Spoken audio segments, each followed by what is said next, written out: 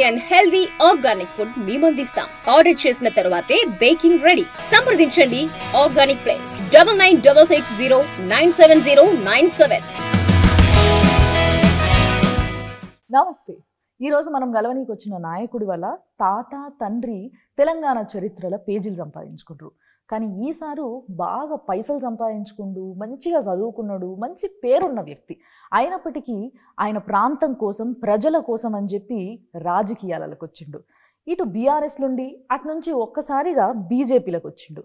మరి బీజేపీలకి ఎందుకు వచ్చినట్టు? ఇంతకీ తెలంగాణలో బీజేపీ గెలవబోతుందా? దానికోసం ఆయన చేస్తున్న ప్రయత్నం ఏంది? అసలు కేసీఆర్కి దూరం ఎందుకు కావాల్సి వచ్చింది? ఈ ముచ్చట్లన్నీ మాట్లాడదాం. మనం ఉన్నాం ఈరోజు కొండా విశ్వేశ్వర రెడ్డి గారి దగ్గర. నమస్తే సార్. నమస్తే. బాగున్నారా? మరి ఇప్పుడు నెక్స్ట్ ఆరు నెలల్లో ఏం జరగబోతుంది రాష్ట్రంలో? చాలా జరగబోతుంది అనిపిస్తుంది కానీ ఏం జరగబోతుంది?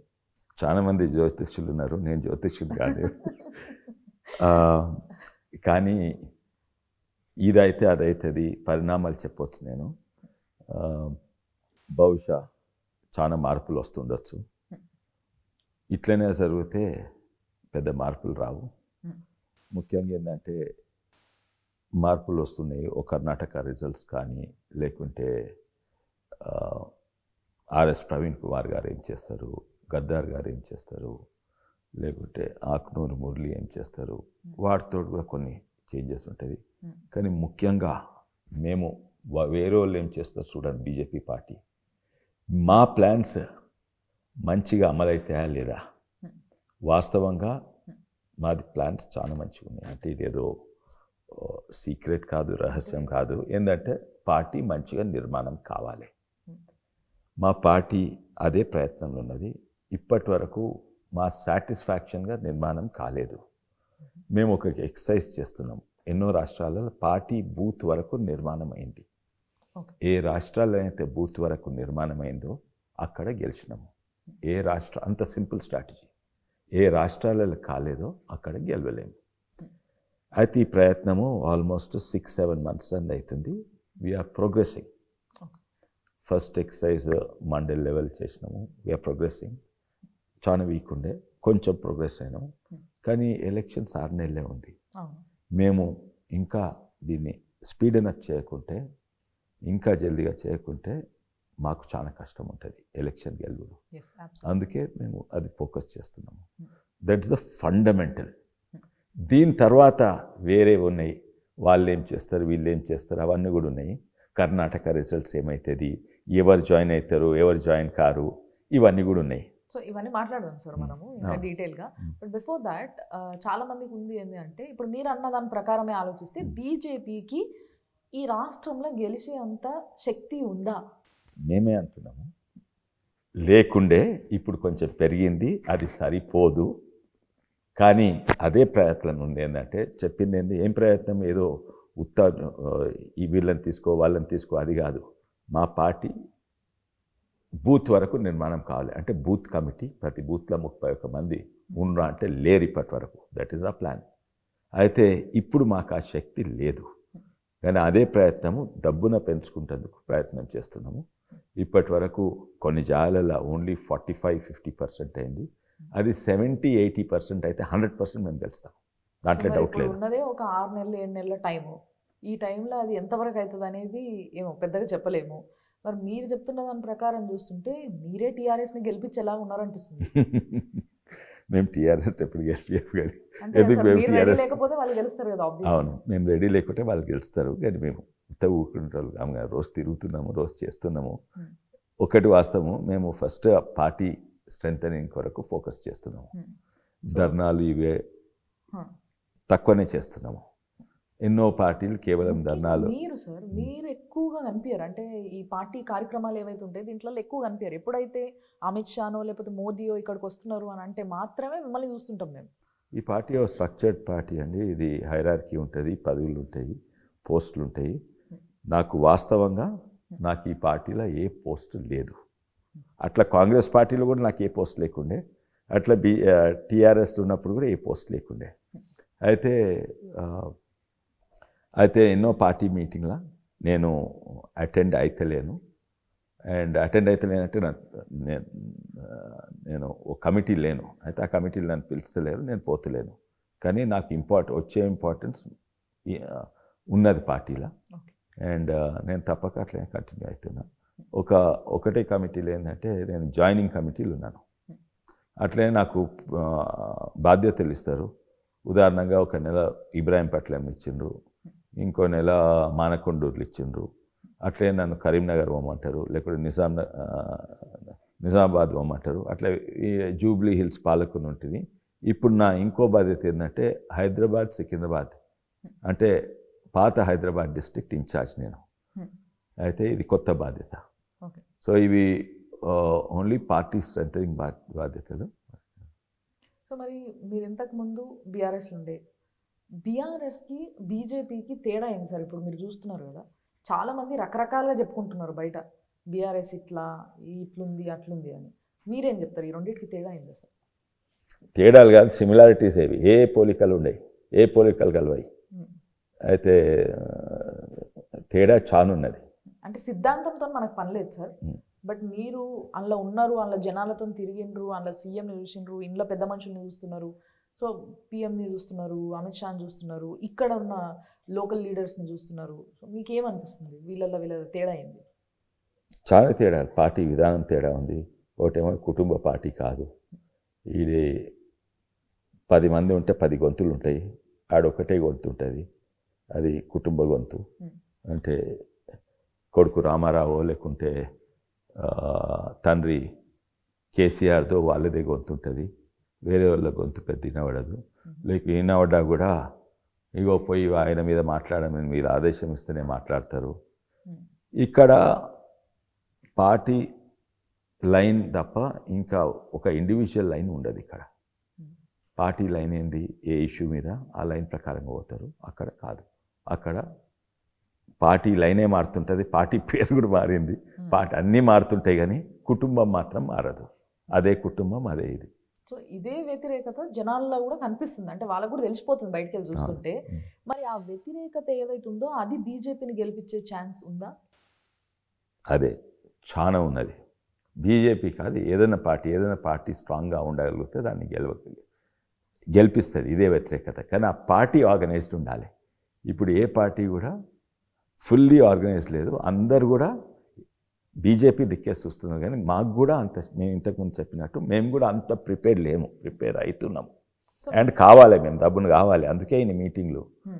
నిన్న ఇన్ఛార్జ్ సునీల్ బన్సల్ గారు అక్కడి నుంచి వచ్చే మీటింగ్ కంటిన్యూస్ ఇంటర్నల్ మీటింగ్స్ ఉంటాయి మాకు. కంటిన్యూస్. విషయంలో మీరు సరే దాన్ని ప్రిపేర్ చేసుకుంటున్నారు Hmm. ప్రిపేర్ అవుతారు Hmm. Okay fine. ఇంకో ఆరు నెలల్లో ఇంకొంచెం ఆరు నెలలు కాదు. ఇంకా వన్ మంత్ డెడ్ లైన్ ఇచ్చింది మాకు ఓకే. వన్ మంత్లలో మేము seventy five percent mini to eighty percent minimum అవుతుంది నాకు నమ్మకం ఉంది అది. ఓకే. సో ఇదంతా చేసుకుంటారు కానీ. ఇప్పుడు బీజేపీ కూడా కాంగ్రెస్ లాగా తయారైంది.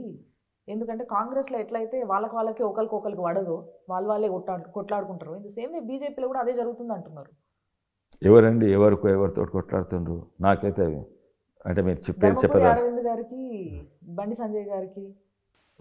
కాంగ్రెస్లో ఏంటంటే ఇద్దరు కొట్లాడితే ఒకడు ఇంకోటిని ఓడిస్తాడు. ఇక్కడ ఈ కుటుంబ పార్టీ కాదు. ఇది ఒక డెమోక్రాటిక్ పార్టీ. డెమోక్రాటిక్ పార్టీల అభిప్రాయాలు మారుతుండొచ్చు. విధానాలు మారుతుండొచ్చు. చెప్పే విధానాలు మాట్లాడే విధానాలు లేకుంటే ఎన్నో అట్లా మారుతుండొచ్చు. ఈడక్కడ ఆ స్వాతంత్రం ఉన్నది. దాన్ని వీళ్ళిద్దరికి పడతలేదని అనుకోవద్దు. అవును ఒక ఇష్యూ మీద ఉండొచ్చు. కానీ ఎంత భేదాలు ఉన్నా కూడా ఒకరినొకరు బీజేపీలో డిఫీట్ చేయరు అదే బీజేపీ స్ట్రెంగ్త్ అది కాంగ్రెస్ వీక్నెస్ అని అందరికి తెలుసు సో మరి మీ గురించి సార్ జనాలు ఒక అనుకునే మాట ఏంటి. అంటే ఈ సారు పెద్దగా చిన్న చిన్న లీడర్లతో తిరగడు. కలవడు. ఎందుకంటే ఆయన లెవెల్ వేరు లేదండి నాకు ఉల్టా ఉన్నది నాకు ఉల్టా ఉన్నది యాక్చువల్లీ మా కాన్స్టిట్యున్సీ అయితే మా బయట వేరే తెలియదు కానీ మా కాన్స్టిట్యున్సీ ఈసారి ఏంది ఇంత సింపుల్గా ఉంటాడు ఇంత పెద్ద లీడర్ అయినా ఇంత సింపుల్గా ఉంటాడు అని నాకు మా కాన్స్టిట్యున్సీ అయితే అది ఉన్నది ఆ, ఆరోపణ నా మీద. అయితే మేబీ బయట నిజంగానే నేను నేను రాజకీయాలకు కొత్తగా వచ్చిన కొంతమందికి ఉదాహరణగా ఈటెల రాజేందర్ గారు ప్రతి నియోజకవర్గంలో చిన్నోళ్ళు పెద్దోళ్ళు అందరికి తెలుస్తుంది. ఉమ్. నాకు ఎంతో ఎన్నో కాన్స్టిట్యున్సీ నాకు తెలియదు. నేను వచ్చింది తెలంగాణ అనుకోకుండా వచ్చిన రాజకీయాలకు. Hmm. సో అది వేరే కాన్స్టిట్యున్సీలే వాస్తవమే కానీ మా కాన్స్టిట్యున్సీలో ఎగ్జాక్ట్లీ ఆపోజిట్ ఈసారి ఎంత పెద్ద లీడర్ ఉండి ఏదో బూత్ అధ్యక్షుడు దగ్గర నుంచి చూసిన వాళ్ళకి అర్థమవుతుంది అంటారు. అవును. అంటే దగ్గర నుంచి ఆయన మా కాన్స్టిట్యున్సీలో. అది వర్తించి వేరే కాన్స్టిట్యున్సీ వాస్తవమే. ఓన్లీ పెద్ద లీడర్తో అయితే తిరుగుతా. కానీ కొంతమంది వెనకట్స్ అంది రాజకీయాలు ఉన్నారు వాళ్ళకు ప్రతి కాన్స్టిట్యున్సీలో ప్రతి మూలల పెద్దోళ్ళు చిన్నోళ్ళు అందరు తెలుసు. నాకు సో టూ థౌజండ్ ఎయిటీన్లో కేసీఆర్ మీకు టికెట్ ఇవ్వకపోవడానికి కారణం ఏమై ఉంటుంది అంటారు అంటే మీకు కొంచెం చరిత్ర తెలియనట్టున్నది. కేసీఆర్ నాకు టికెట్ ఇస్తుడుగా నేను టూ థౌజండ్ సెవెంటీన్లో నిర్ణయం తీసుకున్నా. Hmm. తెలంగాణకు Hmm. పోరాడిన పార్టీ ఇది. అని జాయిన్ అయినా టూ థౌజండ్ సెవెంటీన్లోనే సెవెంటీన్ డిసెంబర్లో కూడా కాదు మొదలే చెప్పిన మా ఎంపీల అందరికి చెప్పిన నేను ఈ పార్టీలో ఉండలేను. ఎందుకంటే ఏదో నమ్ముకొని వచ్చిన పార్టీ. అదే తెలంగాణను ద్రోహం చేస్తుంది. నేను సెవెంటీన్లో చెప్పినాను. తర్వాత సెవెంటీన్ నేను లాస్ట్కు నేను మా ఫ్లోర్ లీడర్ జితేందర్ రెడ్డి గారికి చెప్పిన అందరు ఎంపీలకు తెలుసు ఈయన పోతుందని ఇంక్లూడింగ్ పొంగులేటి శ్రీనివాస్ రెడ్డి గారు బుర్ర నర్సయ్య గారు వీళ్ళందరికీ తెలుసు ఈయన పోతుందని ఉమ్. కేసీఆర్ గారు కూడా చెప్పిండ్రా ఆ, కేసీఆర్ గారు చెప్పలేదు. కొడుకు రామారావుకి చెప్పిన. ఏంది? నేను ఉంటలేనని. అది టూ థౌజండ్ ఎయిటీన్ బిగినింగ్లో చెప్పిన. నేను చెప్పుడే కదా అప్పటి వరకు వాళ్ళకి తెలిసింది. ఎందుకంటే నేను అందరు ఎంపీలకు చెప్పిన. ఇంక్లూడింగ్ బాలకృష్ణకి తెలుసు వీళ్ళందరికీ తెలుసు. నేను ఉండేటోని కానీ అయితే లైట్ తీసుకున్నారు. తర్వాత రెండు నెలలు అయినాక టూ థౌజండ్ ఎయిటీన్ బిగినింగ్లో అరే నిజంగా సీరియస్ ఉండిపోతున్నా అంటే రామారావు గారు వచ్చి రెండు మూడు సార్లు కలిసిండ్రు. రమ్మన్నారు మీటింగ్ పోయినా. పోతే ఏందన్నా ఇట్లా ఇట్లా వింటున్నా మీరు పోతారంట అంటే కరెక్ట్. నేను అందరు చెప్పిన అది కరెక్టే. ఎందుకన్నా ఉండండి ఇది అది అంటే లేదు నేనన్నా రెండు. నాకు ఈ పార్టీ సూట్ అయితే లేదు. నేను కూడా ఈ పార్టీకి సూట్ కాను. Hmm. నేను ఒకవేళ పోకుంటే మీరే నన్ను తీసేయాలి ఇక్కడి నుంచి. ఆ? నేను ఉండాలి. లేదన్నా మీరు చాలా ఇంపార్టెంట్ ఇది అది. ఎన్నోసార్లు Hmm. ఓ పదిసార్లు ఇంటికి వచ్చిండ్రు. Hmm. తర్వాత నేనన్నా నేను సాధారణంగా రాజకీయ నాయకులు పోతే రహస్యంగా ఉంటుంది అండ్ పోతే పది మందిని తీసుకొస్తారు. నేను సాధారణంగా రాజకీయ నాయకుని కాదు పాలిటిక్స్కి వచ్చాను దీని కొరకే వచ్చింది తెలంగాణ కొరకే వచ్చింది నేను. ఇంకా వేరే దాని కొరకు రాలేదు. పైసలు చేసుకుంటందుకు రాలేదు ఓ పేరు సంపాదించుకుంటందుకు రాలేదు దీని కొరకే వచ్చిన ఇది దీంట్లో సూట్ అయితే లేదు నేను దీన్ని దీనికి వ్యతిరేకంగానే పనిచేస్తాను. అయితే మీరే నన్ను తీసేయవలసి వస్తుంది. అని చెప్పిన. లేదన్నా ఇంపార్టెంట్ ఇది అంటే నేను don't worry till the last minute వరకు నేను I will work for the party and then ఈ రిక్వెస్టెడ్ వన్ థింగ్ అన్న మీరు ఎవరికి చెప్పకండి చెప్తే పార్టీకి డిస్టర్బెన్స్ ఓకే ఎవరికి చెప్పను. బట్ ఆల్రెడీ మా ఎంపీలకైతే చెప్తా మా కాన్స్టిట్యున్సీలో ఎవరికి చెప్పకు. అయితే నేను ఎవరు చెప్పలేదు కాన్స్టిట్యున్సీలో దానివల్ల నాకు నెగిటివ్ అయింది. ఎంతోమంది నా అభిమానులు సార్ మీరు చెప్పకుండా పోయారు సార్ అని. Hmm. But in the interest of the party I did not tell అంటే మీరు అప్పుడు అంచనా వేయలేకపోయినారా సార్. ఒక్కసారి మీరు పార్టీల నుంచి బయట అడుగు పెట్టిన తర్వాత మీరు శత్రువే అవుతారు ఆ పార్టీకి. రైట్ శత్రువే, ఇష్టం వచ్చినట్టు ఏదైనా చెప్పొచ్చు. వాళ్ళ తర్వాత. అవును బయటికి పోయినాక బయటికి పోయినాక. ఆనాడు జరిగింది చెప్తున్నా. అయితే నేను definitely I will not harm the party నేను బికాస్ ద పార్టీ ఆ సిద్ధాంతాలకు ఏదైతే పుట్టిందో పార్టీ ఒక లక్ష్యం కొరకు పుట్టిన పార్టీ ఆ లక్ష్యానికి అగేన్స్ట్ పనిచేస్తుంది. అందుకే నేను బయటికి పోతున్నా. అంతే అయితే పార్టీకి డ్యామేజ్ అయితే మీరు చెప్తే అంటే okay I I will not tell anyone and party నుంచి నేను I left the party much before.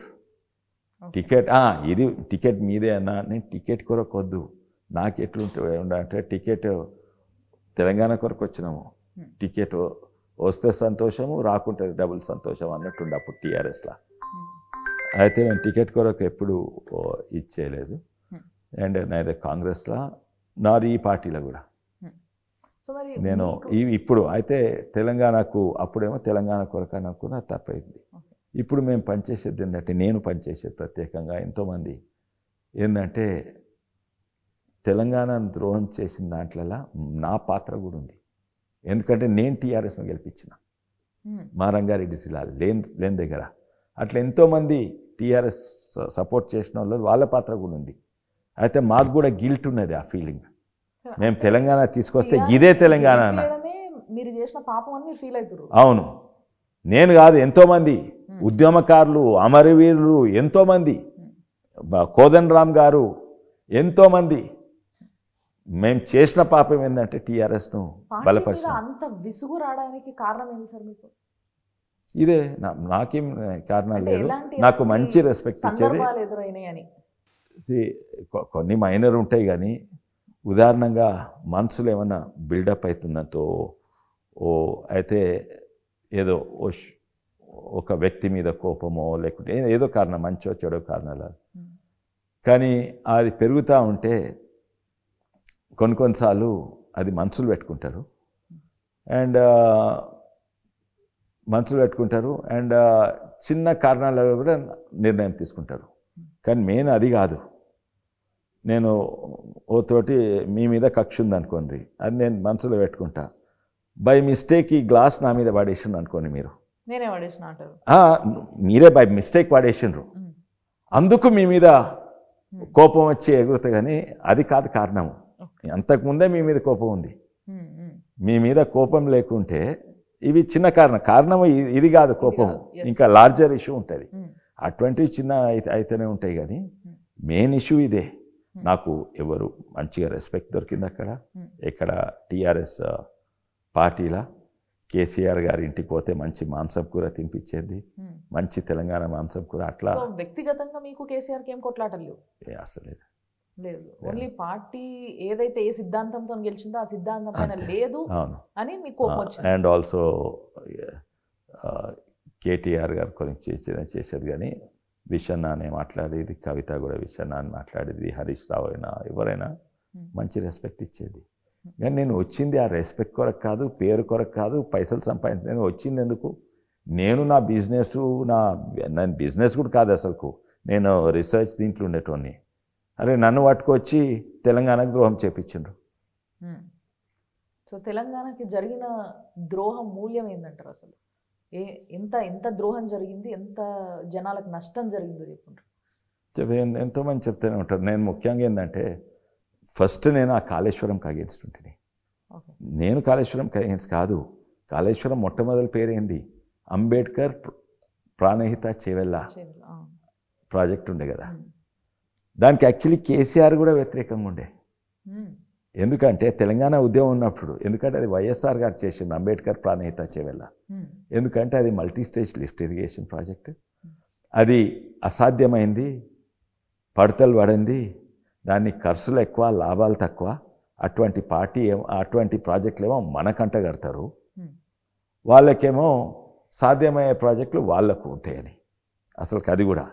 తర్వాత తెలంగాణ వచ్చినాక మళ్ళీ అదే ప్రాజెక్టును ఇంకా ఎక్కువ పెంచి ఏది నలభై వేల కోట్లది లక్షన్నర ఇప్పుడు రెండు లక్షలు అవుతుంది మొన్న థర్డ్ టీఎంసీ వచ్చే వరకు. పెంచి ఇంకా అసాధ్యంగా చేసింది ఇన్నే అయితే అది రెండు తీరుల ప్రజలకు లాభం అయితే తెలంగాణకు ద్రోహం అవుతుంది అండ్ అదే కాక ఒక ఇంజనీర్గా నేను అన్ఫార్చునేట్లీ ఫార్చునేట్లీ ఇంజనీర్ను. ఒక ఇంజనీర్ కూడా తీరుగా కూడా ఇన్సల్ట్ అయినా. As a engineer I felt insulted. So యాక్చువల్గా నాకు ఇక్కడ ఒక ప్రశ్న అడగబోతుంది సార్. ఏంది అని అంటే చాలా మంది జనాలు జనాలకి ఇప్పుడు లీడర్స్ కానీ వేరే పార్టీ వాళ్ళు కావచ్చు అందులోనే ఉన్న వాళ్ళు కావచ్చు అందులోకి బయటకు వచ్చిన వాళ్ళు కావచ్చు. వాళ్ళు ఏమంటున్నారంటే అది పెద్ద స్కాము దాంట్లో చాలా కోట్లు మింగినరు అందరు కలిసి కాళేశ్వరంలో అని. లీడర్ల మాట. వేరాజ్ జనాలు బయట నుంచి చూసేటోళ్ళకి తెలంగాణలో ఇన్ని నీళ్ళు ఎప్పుడు చూడలేదు మేము అలాంటి ఇన్ని నీళ్ళు వారుతున్నాయి అని అంటున్నారు. ఇంతకీ కాళేశ్వరం అనే ఒక ప్రాజెక్ట్తో జనాలకి మంచి జరిగిందా చెడు జరిగిందా? ఒకవేళ జరిగితే ఏది ఎక్కువ జరిగింది? చెడు ఎక్కువ జరిగిందండి. దాంతో లాభం చాలా తక్కువైంది. అండ్ నష్టం కంటిన్యూస్గా ఉంటుంది. అక్కడ టూరిజం ప్రాజెక్ట్ తిరిగిన చూడవచ్చు కానీ ఒక నిజంగానే లాభమే ఇరిగేషన్ ప్రాజెక్ట్ తిరిగా చూడరాదు. దాంట్లో దాంట్లో ఎన్నో ఉన్నాయి. అది డీటెయిల్డ్ ఉన్నాయి. దా- దాని మీదనే మనము గంటలు గంటలు మాట్లాడవచ్చు ఆ డిపిఆర్ రిపోర్ట్ గింత ఉంటుంది. వేలాది పేజెస్. అయితే ముఖ్యంగా ఏంటంటే చిన్న టూ త్రీ ఇష్యూస్ చెప్పాలంటే ఇది కరెంటు బాగా తాగుతుంది. Hmm. ఎంత తాగుతా అంటే ఇటు ఎస్పెషలీ సెవెంత్ ఎయిత్ నైన్త్ స్టేజ్లో పంటలతో ఎంత లాభం అవుతుందో దానికంటే నాలుగు ఐదు ఆరు ఇంతలు ఎక్కువ. అంటే ఉదాహరణగా అక్కడ తెస్తందుకు కరెంటు బిల్ మాత్రమే. మెయింటెనెన్స్ కాదు ప్రాజెక్ట్ కాస్ట్ కాదు ఇంట్రెస్ట్ కాదు అది కాదు. లక్ష లక్ష రూపాయల కంటే ఎక్కువ అవుతుంది ఒక్క పంటకు. ఏ పంటతో లక్ష రూపాయలు లాభం వస్తుంది? ఇన్ఫ్యాక్ట్ నా క్యాలిక్యులేషన్ ప్రాణహితాలు చేయాల ఉన్నప్పుడు ఎక్కువ చేసిన. అప్పుడు అప్పుడైతే కొన్ని కొన్ని జాగాలలో రెండు లక్షలు అయ్యేది ఎకరానికి పంటకు వరి పండిస్తే. అయితే అది అది ఎవరికి లాభం? ఎవరికి లాభం? రైతులకు లక్ష బదులు మీరు ముప్పై వేలు ఇవ్వండి అది అన్నిట్లో ఎక్కువ లాభం అవుతుంది తర్వాత ఇంకోటి మీరు కరప్షన్ అంటుండ్రు. కరప్షన్ గురించి నాకు దగ్గర ప్రూఫ్స్ లేవు. ఇన్వెస్టిగేషన్ అయితే మాత్రం ప్రూఫ్ ఉండదు. కరప్షన్ లేకున్నా తప్పు ఎందుకంటే ప్రాజెక్ట్ డిజైనే తప్పు. అది కరప్షన్ అది వేరే వేరే ఇష్యూ issue corruption కాదు. బహుశా ఉండొచ్చు. నేను నేను దాని ప్రూఫ్ లేని చెప్పరా దాని మీద తప్పక రివ్యూ అండ్ ఇన్వెస్టిగేషన్ తప్పక కావాలి. నేను ఈడీని కాదు నేను ఒక జడ్జ్ను గాను. నైంటీ నైన్ పర్సెంట్ ఉన్నది. హండ్రెడ్ పర్సెంట్ అన్ని ప్రాజెక్టులు ఉన్నాయి ఇంతో అంతో ఉన్నది కానీ ఇందులో ఎంత ఉన్నది ఎవరు దాన్ని దాంట్లోకి పోదలుచుకోలేదు నేను. మెయిన్ ఏంటంటే కరప్షన్ లేకున్నా కూడా Hmm. ఇది తెలంగాణ నాశనం చేసే ప్రాజెక్ట్ ఈ ఏడాది పదమూడు వేల కోట్లు కట్టాలి. ఇప్పుడు నేను జాయింట్ ఆ, అదేంది జూనియర్ జూనియర్ పంచాయత్ సెక్రటరీ దీనికి సెక్రటరీలది అదేంది ఉద్యమం అవుతున్నది. Hmm. ఏంది వాళ్ళను తీసేస్తాడంట. వాళ్ళు ఏంటంటే వాళ్ళను గ్రాడ్యుయేట్స్ను పోస్ట్ గ్రాడ్యుయేట్స్ను పంచాయత్ సెక్రటరీగా తీసుకొని పదకొండు వేలకు పని చేపిస్తుండు. Hmm. వాళ్ళు ఎందుకు చేస్తారు పదకొండు వేలు? ఎందుకంటే రెగ్యులరైజ్ అవుతుందని చెప్పిండ్రు Hmm. ఇప్పుడు రెగ్యులరైజ్ చేస్తలేరు. అదే పంచాయతీ తొమ్మిది వేల మంది. వాళ్ళకి శాలరీస్ ఆ పన్నెండు వేలు పదిహేను వేలు కూడా ఐదు నెలలకు ఒకసారి ఇస్తున్నారు. అయితే ఇది ఎందుకు? ఇది కాళేశ్వరం వల్లనే. ఎందుకంటే ధనిక రాష్ట్రం. ధనిక రాష్ట్రము ఏం చేస్తున్నది? పదమూడు వేలు ఓన్లీ దీని కొరకు కడుతున్నది. మొత్తం దాదాపు నలభై వేల కోట్లు. నా ఎస్టిమేట్. కాళేశ్వరం అయితే పదమూడు వేల కోట్లు ఈ ఏడాది కట్టాలి. లాస్ట్ ఇయర్ లేకుండే. ఇప్పటి సంది మొదలైంది. ఆ కాళేశ్వరం. మహత్యము ఇప్పుడు తెలుస్తున్నది ప్రభుత్వానికి. అయితే దాంట్లో ఇంజనీరింగ్ వైజ్ సింపుల్ క్యాలిక్యులేషన్ ఉంటుంది. Power consumption on multi stage lift irrigation project. దాంట్లో ఏముంటుందంటే ఒక ఒక పంపు ఇప్పుడు ఈ లైట్ అయినా ఓ ఫ్యాన్ అయినా ఎలక్ట్రికల్ డివైస్ వంద యూనిట్లు ఈ లైట్కి ఇస్తే వంద యూనిట్ల లైట్ ఇయ్యదు. అందులో వేడికి దీనికి దానికి ఓ ముప్పై శాతం పోతుంది. అయితే దీన్ని ఏమంటారు? దీన్ని డెబ్బై శాతం ఎఫిషియన్సీ లైట్ అంటాం అంటే వంద యూనిట్ వస్తే లైట్ వచ్చేది డెబ్బై యూనిట్లే. అట్లనే పంప్లకు కూడా ఫ్యాన్లకు కూడా ఏసీలకు కూడా ఎఫిషియన్సీ ఫ్యాక్టర్ ఉంటుంది. ఈ పంప్ ఎఫిషియన్సీ అంట. నాకు నేను ఎన్నో ఆర్టీఐలు అప్లై చేసినా చక్కగా ఇవ్వలేదు జవాబు. నైంటీ పర్సెంట్ అంట. తొంభై శాతం ఎఫిషియెంట్ పంప్స్ అంట. అటువంటి పంప్లు చాలా తక్కువ. అది కూడా పర్ఫెక్ట్ మెయింటైన్ అయితేనే ఉంటుంది. సరే నైంటీ పర్సెంట్ నేను అడిగిన పార్టీలు ఉన్నప్పుడు అడిగిన నాకు నేను పార్టీలు ఉన్నప్పుడు నన్ను పిలిచేది కాళేశ్వరం డిజైన్ అనేటప్పుడు. అయితే లేదు లేదు irrigation ninety percent efficient pump అని అన్నాడు. సరే okay. Ninety percent efficient pump అయినా కూడా ఫస్ట్ స్టేజ్లో పది యూనిట్లు వృధా అయిపోతాయి. తొంభై యూనిట్లదే పంపింగ్ అవుతుంది సెకండ్ స్టేజ్లో ఆ తొంభై యూనిట్ల మీద నైంటీ పర్సెంట్ అంటే eighty one eighty one third స్టేజ్లో సెవెంటీ టూ ఫోర్త్ స్టేజ్లో some sixty three sixty four ఉంటుంది. ఫిఫ్త్ స్టేజ్లో అట్లా తొమ్మిది స్టేజెస్ పోయే వరకు దాని ఎఫిషియన్సీ ఇరవై శాతం అవుతుంది అదే కాక ఇవాపరేషన్ లాసెస్ తర్వాత ఇదేంది సీపేజ్ ఇవన్నీ కూడా ఉంటాయి.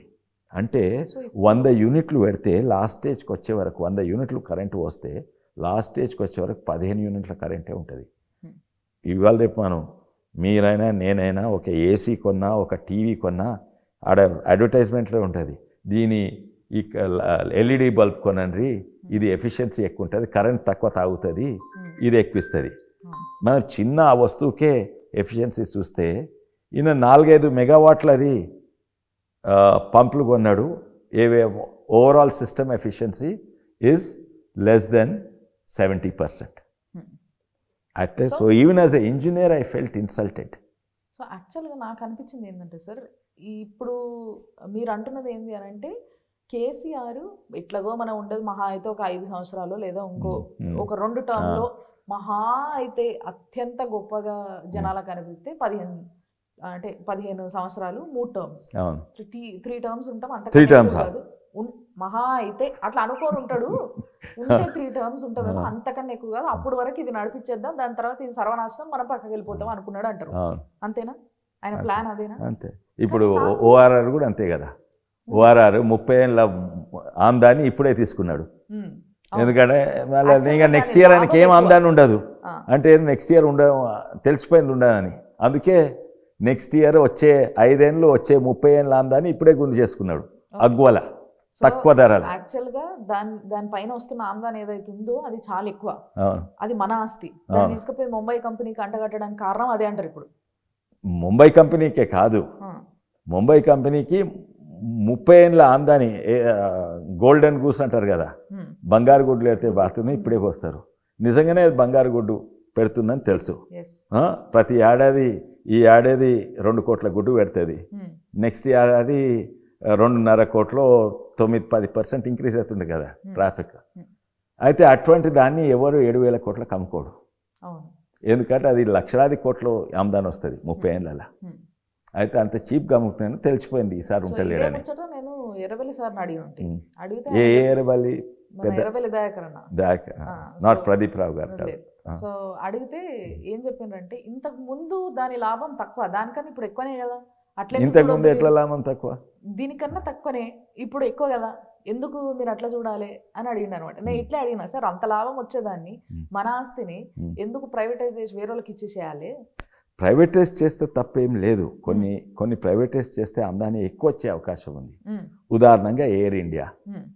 దాన్ని గవర్నమెంట్ నడిపితే లాస్ వస్తున్నది. లాస్ వస్తుంది. ఆ లాస్ ఎవరు బంద్ చేస్తారు.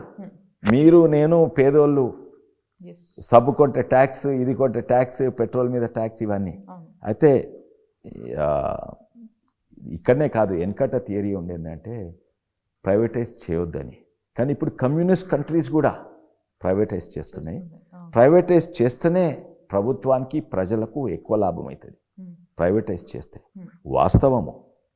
క్యాపిటలిస్ట్ ఇది కమ్యూనిస్ట్ ఫిలాసఫీ ప్రకారం చేయరు కానీ కమ్యూనిస్ట్ కంపెనీసే ఇప్పుడు ఆయిల్ కంపెనీస్ మొత్తం రష్యాలో? ప్రైవేటైజ్ కంపెనీసే. అట్లనే చైనాలన్నీ ప్రైవేటైజ్ కంపెనీయే. అయితే అవి వాళ్ళు కూడా బంద్ చేసిండ్రు. ఈ ఈ ఆలోచన. ఏంటంటే ప్రైవేటైజేషన్ ప్రజలకు వ్యతిరేకం వీళ్ళ ఆలోచన ఏంటంటారంటే మీరు ఇప్పుడు నెక్స్ట్ ఓడిపోతారు కాబట్టి ఎట్లయినా ఎప్పుడే control ఇప్పుడు తీసుకో అదే? అంతే. ఓకే. సో మరి నాకున్న డౌట్ ఏంటంటే సార్ మీకు నా ప్రశ్న ఏంటి అంటే ఇంత చదువుకొని ఇంత నాలెడ్జ్ ఉండి ఇంత పోరాడే శక్తి ఉండి ఇన్నుండి మీరెందుకు అట్లకెళ్ళి బయటకు వచ్చేసిండ్రు? గట్టిగా పోరాడలేకపోయినరా? ఏంది ఇది అన్యాయం జనాలకని? అక్కడ పోరాడలేదండి. కాంగ్రెస్లో పోరాడవచ్చు బీజేపీలో పోరాడవచ్చు కానీ అక్కడ పోరాడలేదు అది ఒక కుటుంబం గొంతే వినబడుతుంది. ఇంతకుముందు చెప్పిన. అది కుటుంబ పార్టీ తయారైంది.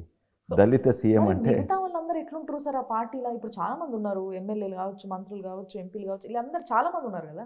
వాళ్ళ లక్ష్యం వేరే మేము ఎంపీ కావాలి మాకు పేరు కావాలి మాకు స్టా స్టేటస్ కావాలి వాళ్ళు తెలంగాణ కొరకు పోరాడిన వాళ్ళు కాదు ఇప్పుడు చూస్తే చూడండి ఒక్క ఉద్యమకారు లేడు అక్కడ అయితే వాళ్ళ లక్ష్యం వేరే. పైసలు సంపాదించుకోవాలనుకుంది కొందరికి మా స్టేటస్ కావాలని. పవర్ కావాలని నేను మంత్రి అవుతా కేసీఆర్కు. జై కొడితే మంత్రి అవుతుండొచ్చు. కేటీఆర్కు ఇది కొడితే పది వస్తుండొచ్చు సోషల్ మీడియాలో కొంచెం ఏమైనా చేస్తే. ఒక చైర్మన్షిప్ పొజిషన్ వస్తుంది. Hmm. అట్లా బయటికి వచ్చి బీజేపీలో చేరిండ్రు. మీకు కాంగ్రెస్ సిద్ధాంతాలు కలుస్తాయా? లేకపోతే బీజేపీ సిద్ధాంతాలు కలుస్తాయా? మీ యాటిట్యూడ్కి మీకు ఏ సెట్ అవుతుంది వాస్తవంగా బీజేపీయే కానీ మా లక్ష్యం ఏముందంటే మెయిన్ అదే. మేము కాంగ్రెస్ జాయిన్ అయింది. అప్పుడు కాంగ్రెస్సే కొట్టగలిగేది. మేము తెలంగాణకు ఓ కేసీఆర్కు హెల్ప్ చేసి మా పాత్ర కూడా తెలంగాణ ద్రోహం చే చేయడంలో అందుకే కేసీఆర్ని దింపాలి ఆ కేసీఆర్ పాలన పోవాలని కాంగ్రెస్ జాయిన్ అయినాం. కానీ సిద్ధాంతాలు చూస్తే వాస్తవంగా కాంగ్రెస్ సిద్ధాంతాలు చాలా కన్ఫ్యూజింగ్ ఉంటాయండి. బీజేపీ క్లారిటీ బీజేపీ సిద్ధాంతం ఏంది? హిందుత్వ. హిందుత్వ అంటే ఏంది? జాతీయవాదం. హిందూ మతానికి సంబంధించి కాదు జాతీయవాదం. ఉదాహరణగా నేను చెప్తాను. మాకు ఎన్నో పేర్లు పెడతారు యాంటీ సెక్యులర్ అంటారు ఇది అది అంటారు. కానీ వాస్తవంగా కాంగ్రెసే మోస్ట్ యాంటీ సెక్యులర్ పార్టీ ఎందుకంటే ఒక చట్టం తీసుకొచ్చినా ఏం తీసుకొచ్చినా అందరికి ఒకటే చట్టం ఉండాలి. మీరు హిందువులు కనుక మీకు వేరే చట్టం మీరు ముస్లిమ్స్ కనుక వేరే చట్టం క్రిస్టియన్స్. బీజేపీ లక్ష్యం ఏంది కామన్ సివిల్ కోడ్ దేశానికి. అందరికీ మన భారతీయులు ఉంటే భారతదేశం మొత్తంకి ఒకటి చట్టం ఉండాలి. అది ట్రూ సెక్యులర్ కాంగ్రెస్ ఏమో ఒక దిక్కు అంటది మేము సెక్యులర్ కానీ కామన్ సివిల్ కోడ్ వద్దంటది. సో కాంగ్రెస్ ఉన్నప్పుడు తెలంగాణ మాత్రమే కాదు భారతదేశానికి కూడా నష్టమే జరిగింది అంటారు. లేదు భారత కొన్ని కొన్ని కాంగ్రెస్ మంచి Hmm. ప్రాజెక్ట్స్ చేసింది దాంట్లో డౌట్ లేదు. ఇది ఎంతోమంది బీజేపీ వాళ్ళు ఒత్తుకుంటారు ఎంఎన్ఆర్జీ స్కీమ్ కాంగ్రెస్ వచ్చింది. యుఏఐడి అంటే భారతీయుడు అంటే ఒక ఐడెంటిటీ కావాలి ఆధార్ కార్డు. ఇవన్నీ ఎన్నో ఆర్టీఐ రైట్ టు ఇన్ఫర్మేషన్ ఎన్నో మంచి పనులు చేసింది Congress. You can't take that credit అవే కానీ కాంగ్రెస్ నేను మాట్లాడేది నేను ప్రత్యేకంగా దాని సిద్ధాంతాల గురించి మాట్లాడుతున్నా. సిద్ధాంతాల గురించి కాంగ్రెస్కు టోటలీ కన్ఫ్యూజింగ్ సిద్ధాంతాలు ఆ సిద్ధాంతాలు లేరు సిద్ధాంతాలు ఓనీ పేరు. ఓ సైడ్ ఏమో సెక్యులర్ అని అంటారు. ఇంకో సైడ్ ఏమో ఇంకో సైడ్ ఏమో ఆ, అందరికీ ముస్లిం ఉంటే నీకు వేరే చట్టం క్రిస్టియన్ ఉంటే నీకు వేరే చట్టం హిందూ ఉంటే నీకు వేరే చట్టం. అక్కడ కన్ఫ్యూజన్ చట్టాలు. తర్వాత ఇప్పుడు వాళ్ళ నాయకుడు గడ్డం పెంచుకొని తిరుగుతూ ఉన్నాడు. భారత్ జోడో భారత్ జోడో అని. కానీ ఆర్టికల్ త్రీ సెవెంటీ రద్దు చేస్తే దానికి అంటే అగేన్స్ట్ అంటే ఏంది? కాశ్మీర్ భారతదేశంలో కాదా? ఇప్పుడు చెప్పండి భారత్ జోడో ఎవరు? కాశ్మీర్ కలిపింది మేము. వాళ్ళు కలపదలుచుకోలేదు వాళ్ళకి కాశ్మీర్కు వేరే రాజ్యాంగమే ఉండాలి. అట్లున్నది ఒకవేళ సో అన్నిట్లో కూడా ఈవెన్ తెలంగాణ గురించి కూడా. కాంగ్రెస్ ఇది చాలా కన్ఫ్యూజింగ్ అని. కాంగ్రెస్ సిద్ధాంతము తెలంగాణకు వ్యతిరేకంగా ఉండే. అప్పుడు తెలంగాణ కొరకు సపరేట్ మా తాతగారు కొట్లాడిండ్రు మరి చెన్నారెడ్డి గారు కొట్లాడిండ్రు తెలంగాణ ప్రజాసమితి పెట్టి పది గెలిచిండ్రు ఎంపీలు తెలంగాణలో. అయితే కాంగ్రెస్ అప్పుడు మా తాతగారు చెప్పిండ్రు వద్దు కల్పకండి. అది హైదరాబాద్ రాష్ట్రం వేరే ఉండే. ఆంధ్ర రాష్ట్రం వేరే ఉండే. వద్దు వద్దు అన్న కలిపిండ్రు. బీజేపీది ఏంది వెనకట్స్ అంది? స్వాతంత్రం నుంచి బీజేపీ అంతకుముందు ఆర్ఎస్ జనతా పార్టీ ఇంకా ఆర్ఎస్ఎస్ సిద్ధాంతం ఏంటంటే దేశం బాగా కావాలంటే చిన్న రాష్ట్రాలు ఉండాలి. తెలంగాణ కాదు అంతకు ముందు Hmm. చిన్న రాష్ట్రాలు కావాలి. అదే సిద్ధాంతానికి కట్టుబడి ఉంది. ఎందుకు? మాది జాతీయవాదం. అయితే జాతీయవాదం ఉంటే దేశం బలంగా కావాలంటే ప్రతి దేశము గోవా తీరుగా కేరళ తీరుగా పాండిచ్చేరి తీరుగా ఉండాలి. ఎందుకంటే గోవాలో ఆర్థికంగా వాళ్ళు మనకంటే రెండు మూడు ఇంతలు ఎక్కువ ఆమ్దాన్ వస్తుంది. గోవాలో స్కూళ్ళు చూడండి. ఎంత మంచిగా ఉంటాయంటే గోవాలో గవర్నమెంట్ హాస్పిటల్స్ చూడండి. అయితే ఇవన్నీ డెవలప్డ్ డెవలప్మెంట్ కావాలంటే చిన్న రాష్ట్రాలు కావాలని బీజేపీ దానికి కట్టుబడింది అదే కాంగ్రెస్. ఫస్ట్ ఏమో కలపొద్దు కలపొద్దు అంటే కేవీ రంగారెడ్డి గారు చెప్పింది నెహ్రూ గారికి.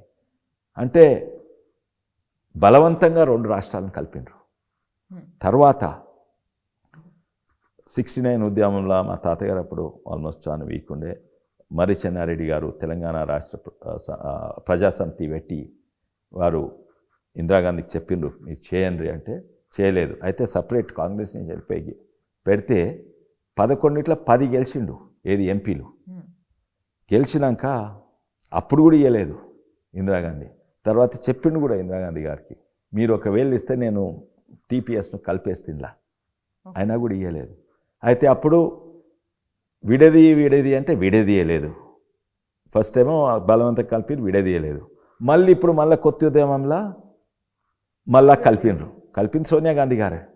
అంటే రాజకీయ అవసరం కొరకు ఏదంత అది ఓసారి ఇటు ఓటారు అటు. కానీ బీజేపీ ఎప్పుడు కూడా. ఆ సిద్ధాంతానికి కట్టుబడి ఉంది జాతీయవాదం. Hmm. దేశం బలం కావాలంటే చిన్న రాష్ట్రాలు ఉండాలి. సో అంత డిఫరెన్స్ ఉన్నది చూడండి. ఓకే. సో మరి వ్యక్తిగతంగా మీకు కేసీఆర్ గారికి ఏమీ లేదంటున్నారు. కానీ కొన్నిసార్లు చిన్న చిన్న వాటిలో హర్ట్ అయినా అని అన్నారు మీరు.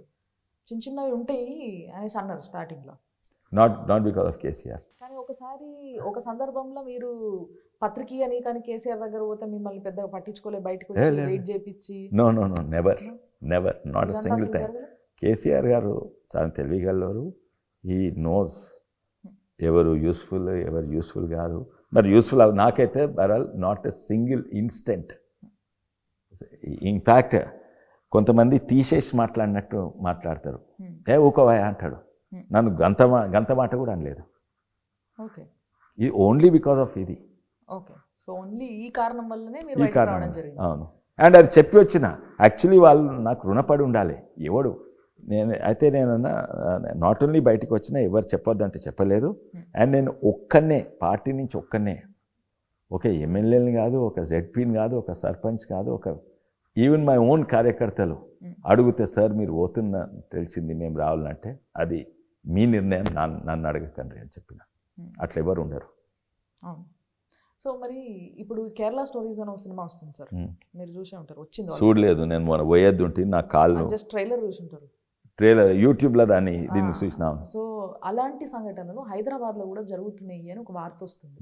ఫస్ట్ ఆఫ్ ఆల్ నేను ఫస్ట్ లవ్ జిహాద్ ఇది అన్నప్పుడు ఎంతోమంది అన్నారు అది ఓన్లీ ప్రచారము అది నిజంగా జరుగుతలేదు భారతదేశంలో అని. అయితే నేను నేను అనుకునేది బహుశా భారత నిజంగానే ప్రచారమే ఉండొచ్చు అని అనుకునేది. ఇప్పుడు కాదు నేను. బీజేపీలో ఉండకముందే కానీ ఇప్పుడు ఒక ఒకటైతే వాస్తవం. హైదరాబాద్లో జరుగుతున్నా జరగకున్నా వేరే రాష్ట్రాలలో తప్పనిసరి జరుగుతున్నది. అది కేరళలో జరుగుతున్నది. ఎన్నో ప్రూఫ్స్ కూడా ఉన్నాయి. ఆ వ్యక్తులు కూడా ఇంటర్వ్యూస్ ఇచ్చిండ్రు. అయితే హైదరాబాద్లో జరుగుతుందా అని నాకు ఫ్రాంక్లీ నాకు తెలియదు. నాకు ఏమి ఇంటున్నా కానీ నాకు ప్రూఫ్ ఉన్న కేసెస్ అయితే నేను చూడలేదు. నిన్న నిన్న మొన్న నేను మరిపల్లికి పోయినా. మరిపల్లి ఆ, మ- మరిపల్లిలో కొత్త స్టేషన్ ఆమె స్టేషన్లో ఒక ట్రైన్ ఆగుతున్నది. Hmm. ఫస్ట్ టైం స్టాప్ అవుతుంది Hmm. అయితే నేను ఆ ట్రైన్ లెక్కొచ్చిన.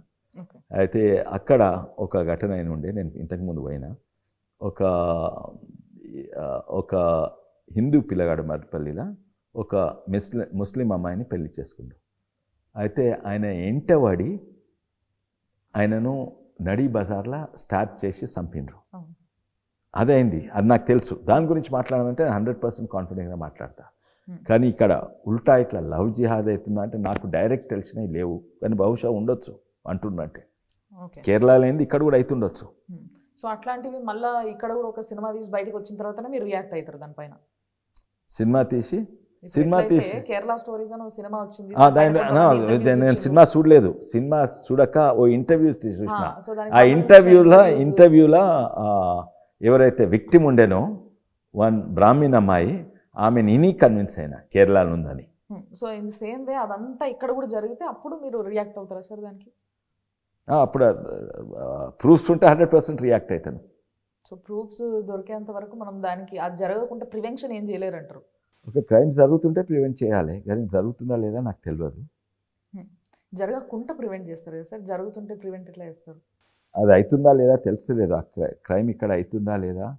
ప్రివెంట్ నాకు దాని గురించి అవగాహన లేదన్న అందుకే ఆ సబ్జెక్ట్ నాది కాదు. కానీ చేయాలి. ప్రివెంట్ కాకుండా చేయాలి. ఓకే. సో మరి కేసీఆర్ ఫ్యామిలీని మీరు ఇప్పుడు కూడా రెండు మూడు సార్లు అన్నారు. అది మొత్తం ఫ్యామిలీ పాలన. వాళ్ళే. మాట్లాడతారు. మిగతా వాళ్ళకి మాట్లాడనియరు అసలు అని. సో మరి ఈ పాలన వీళ్ళ ఫ్యామిలీ గురించి మీరు చాలాసార్లు మాట్లాడడం కూడా జరిగింది. ఇట్లనే. అయితే ఇప్పుడు చెప్పుండ్రి వీళ్ళ ఫ్యామిలీ ఇట్లే మొత్తం అంతా ఈ ఏలుడు ఇదంతా చూస్తుంటే చాలా మంది ఏమంటున్నారంటే నిజాం పరిపాలన వీళ్ళంతా ఎట్లా అంటే ఈయన ఒక రాజు దొర.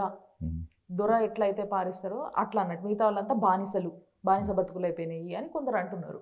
దాన్ని నేను వ్యతిరేకిస్తానండి వాళ్ళందరూ దాన్ని నేను వ్యతిరేకిస్తా. ఎందుకంటే నిజాం పరిపాలన ఇంకా ఎక్కువ డెమోక్రసీ ఉండే. నాకు ఎగ్జాంపుల్స్ కూడా తెలుసు. నిజాం పరిపాలన కంటే చాలా నిజాం పరిపాలన చట్టాలు ఉండేది.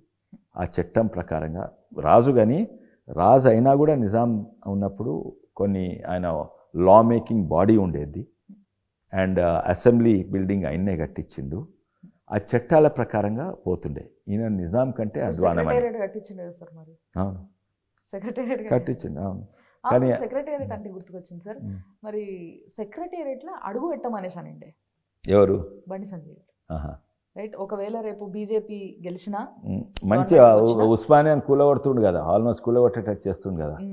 కొంచెం అదే ఆర్కిటెక్చర్ ఉంది దాన్ని మంచి హాస్పిటల్ చేస్తే చాలా మేలవుతుంది మంచి హాస్పిటల్ చేస్తే నేను కూడా దానికి సపోర్ట్ ఇస్తాను. బండి సంజయ్ గారు చెప్పింది కరెక్ట్.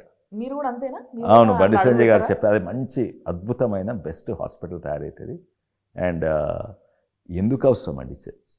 రెండు రాష్ట్రాలకు సరిపోతుండే. ఎందుకు అవసరం అంటే ఆయన దొరనమాట ఆయన పాలన కూడా దొరన స్టైల్. నేనుంటే అడే ఇరిగేషన్ డిపార్ట్మెంట్ ఇక్కడ రారా సెక్రటరీ అంటే రావాలి ఉరుక్కుంటా రావాలి. ఆ ఇరిగేషన్ ఎక్కడనో ఉంటే యాక్చువల్లీ పిలిచొద్దు. ఫైల్ ఉంటే ఫైల్ తీసుకొని చదివి ఒక షెడ్యూల్ ఉండాలి ఇచ్చి ఉండాలి. ఈరోజు ఇరిగేషన్ మీటింగ్ పెట్ట పొద్దుగాలు ఏమని అరే ఈరోజు ఇరిగేషన్ మీద మాట్లాడదామంటే ఇరిగేషన్ వాళ్ళు ఇరిగేషన్ ఎంప్లాయీలు అన్ని ఫైళ్ళు అక్కడనే ఉండాలి. ఇది అవసరం లేదు ఏ- రాష్ట్రం లేదు. ఆయన అనేక ఆయన రీజనింగ్ ఇచ్చేది ఇదే. అఫ్కోర్స్ కరెక్ట్ కరెక్ట్ కారణం ఏంటంటే వాస్తు. కానీ ఆయన చెప్పుకునేది ఏంటంటే ఇదేంది గవర్నమెంట్ల గవర్నమెంట్లో నువ్వు ఒక బాధ్యత అయిన చీఫ్ మినిస్టర్ ఉంటే నువ్వు ఓ మీటింగ్స్ కండక్ట్ చేయాలి మీటింగ్స్కు అజెండా ఉండాలి మీటింగ్స్కు డేట్ ఉండాలి ఆ డేట్ మీద ఏం మాట్లాడతారు? ఒకవేళ మీరు కాళేశ్వరం మీద మాట్లాడేది ఉంటే చెప్పండి. అయితే వాళ్ళందరూ ఆ కాళేశ్వరం మీద ఫైల్ వచ్చి మీ పక్కకు మీ ఆఫీస్ బయట కూర్చుంటారు. అండ్ ఇష్టం ఉన్నది మీరు అడగవచ్చు వాళ్ళు ఆ ఫైల్ తీసి చెప్తారు. కానీ ఇక్కడ కుంటుంటా అరే ఈరోజు కాళేశ్వరం యూజ్ చేస్తాము ఈరోజు డబుల్ బెడ్రూమ్ యూజ్ చేస్తాము. అందరినీ యొక్క పని మనుషులు చూసుకుంటేందుకు ఇది సెక్రటేరియట్ పర్ఫెక్ట్. సో మరి మామూలుగా జనాలు అందరితో కూడా డిస్కషన్ చెయ్యరు కేసీఆర్ అని చాలా మంది అంటున్నారు. అంటే ఇప్పుడు అందరూ ఎమ్మెల్యేలను కూర్చోబెట్టుకొని ఎందుకు చేయడు? జ్యోతిష్యంతో బాగా చేస్తాడు? తప్ప చేస్తాడు. కొంతమందితో చేస్తాడు. ఎమ్మెల్యేలతో మాత్రం ఉండదా? అస్సలే ఉండదు. సో ఇన్ వాళ్ళతో ఫ్యాక్ట్ వాళ్ళతో ఉంటే కొంచెం ప్రోగ్రెసివ్ వర్క్ బయటకు వస్తుంది అంటారా? అవును తప్పనిసరి. మొత్తం అన్ని ఆయన ఒక్కడే డెసిషన్స్ తీసుకుంటాడు అనేది అక్షరాల నిజం అయితే. అక్షరాల నిజం. దాంట్లో there is no doubt about it and not only at least నేనున్నప్పుడు ఆయన నిజంగానే ఒక్కడే తీసుకునేది. ఈవెన్ రామారావు గారిని అడగకపోయేది హరీష్ రావుని అడగకపోయేది ఇవ్వని ఈవెన్ బహుశా ఇప్పుడు ఏమో అడుగుతుండొచ్చు. Hmm. కొడుకునో బిడ్డనో అడిగినా అడుగుతుండొచ్చు కానీ నేనున్నప్పుడైతే అందరు కూడా సార్ అంటుండు. వాళ్ళు కూడా తండ్రిని సార్ అంటారు. తండ్రిని సార్ సార్ అంటారు. సార్ ఇట్లా అంటుండు సార్ ఇట్లా అంటుండు. అంటే అఫీషియల్ ఏమో సార్ వాళ్ళు ఆ? అఫీషియల్ ఉంటారేమో వాళ్ళు మధ్యలోకి వచ్చేసరికి. అంతే కదా సార్. ఇప్పుడు మా డాడీ టీచర్ అయినంత మాత్రం నేను అడిగిపోయి డాడీ అంటే బాగుండదు కదా సార్ స్కూల్లో. అట్లా సార్ అంటారేమో మేము అట్లా అంటుండొచ్చు మరి ఈ కవిత కాదు కవిత లిక్కర్ స్కామ్ గురించి మాట్లాడితే అసలు ఆ కేసు ఏమైందో కూడా అర్థమవుతలేదు జనాలకి ఏదో ఎంక్వైరీలు అన్నారు టకా టకా మీద మీద మీద మీద టీవీలలో కనిపించుడు. ఇదంతా జరిగింది. మళ్ళీ ఆటోమేటిక్గా అంత కూల్ అయిపోయింది. అసలు ఏం జరుగుతుంది లోపల? ఫస్ట్ ఆఫ్ ఆల్ ఇది మేం చేయడం వల్ల కాలేదు. ఢిల్లీలో ఎక్కడనో ఎవరో ఇన్వెస్టిగేషన్ చేస్తుంటే ఈమె ఆ వల్ల దొరికింది. ఇది బీజేపీ తెలంగాణ ఒత్తిడి పెట్టలేదు బీజేపీ ఢిల్లీ ఒత్తిడి పెట్టలేదు. అక్కడ ఇది జరుగుతుంటే ఆ హోటళ్ళల్లో వీడియో తీసుకుంటే కవిత గారు అందులో వచ్చింది కానీ అట్లా ఎట్లా అంటారు సార్ మీరు? బికాజ్ ఈడీ అనేది ఫైనాన్స్ మినిస్టర్ కిందకి వస్తుంది రైట్? అవునమ్మా అవును కరెక్టే. అయితే ఈడీ ఫైనాన్స్ మినిస్టర్ చెప్పగలుగుతాడు ఇగో ఢిల్లీ లిక్కర్ లిక్కర్ స్కామ్ అవుతుంది కొంచెం ఇన్వెస్టిగేట్ చెయ్యి అని చెప్తాడు ఎన్నో Hmm. లేకుంటే అపోజిషన్ కూడా రాస్తుంది. ఇప్పుడు టీ ఉదాహరణ కాంగ్రెస్ రాస్తుంది అనుకోండి. వాళ్ళు ఉత్తనే పెట్టుకొని పక్కకు పెట్టుకోరు అది ఈడీ. తప్పనిసరి. ఇప్పుడు కాంగ్రెస్ పార్టీయో లేకుంటే ఎవరైనా రాసినా కూడా ఆ లెటర్ పక్కకు పెట్టరాదు. ఎందుకంటే రేపు వాళ్ళ మీద కోర్ట్ చేస్తే నువ్వు ఎందుకు చేయలేదంటారు? కోర్స్ దాన్ని ఓ పక్షపాతం ఉంటే ఓ తీరు చేయవచ్చు లేకుంటే తొందర ఉంటే ఓ తీరు చేయవచ్చు తొందర లేకుంటే ఓ తీరు చేయవచ్చు కానీ ప్రతిదానికి ED responsible not only for ఇది even for Congress party writes letter దాన్ని చూసినాము దీంట్లో ఏం లేదని బంద్ చేసుకోవచ్చు కావాల్సి కానీ దాని మీద చేసే తప్పనిసరి చేయవలసి వస్తుంది. ఇందులో ఏమైందంటే క- కవిత దాంట్లో కవిత మీద ఇన్వెస్టిగేషన్ చేయమని ఎవ్వరు కూడా చెప్పలేదు.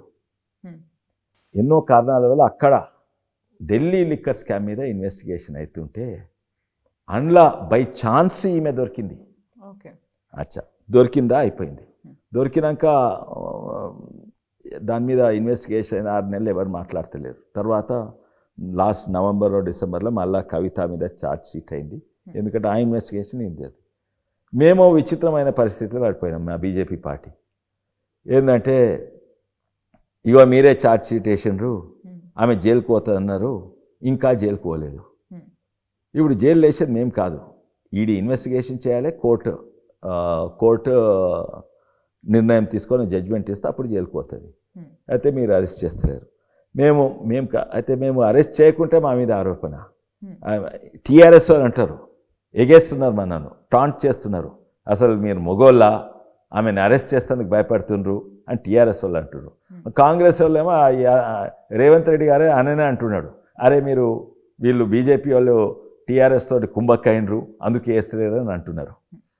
అయితే మేము ఆ పరిస్థితిలో అంటాం కానీ ఒక్కటైతే వాస్తవం వాస్తవం రాజకీయంగా చూస్తే.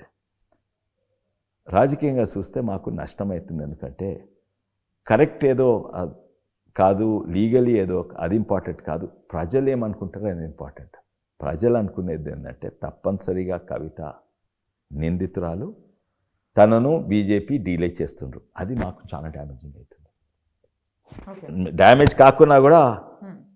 మా మిత్రుడు రేవంత్ రెడ్డి గారు ఆయన బాగా టాలెంట్ ఉండేటువంటి ఆయన డ్యామేజ్ చేసే అవకాశం మీకు ఎట్లా తెలిసింది సార్? కవిత కంపల్సరీ నిందితురాలని జనాలు అనుకుంటున్నారు అన్న విషయం మీకు ఎట్లా తెలిసింది? నాకు అందరికి తెలుసు ఇది వాస్తవమే. ఎన్నో విధాలు మాకు తెలియదు జనం ఏమనుకుంటే మేము ఉన్నదే జనంతో తిరిగేటోళ్ళము. మాకు తెలుస్తుంది. కానీ మీకు ప్రూఫ్ కావాలంటే ఒకటి చెప్తా. సోషల్ మీడియాలో కవిత గారి అకౌంట్కు ఉంది ఓకే.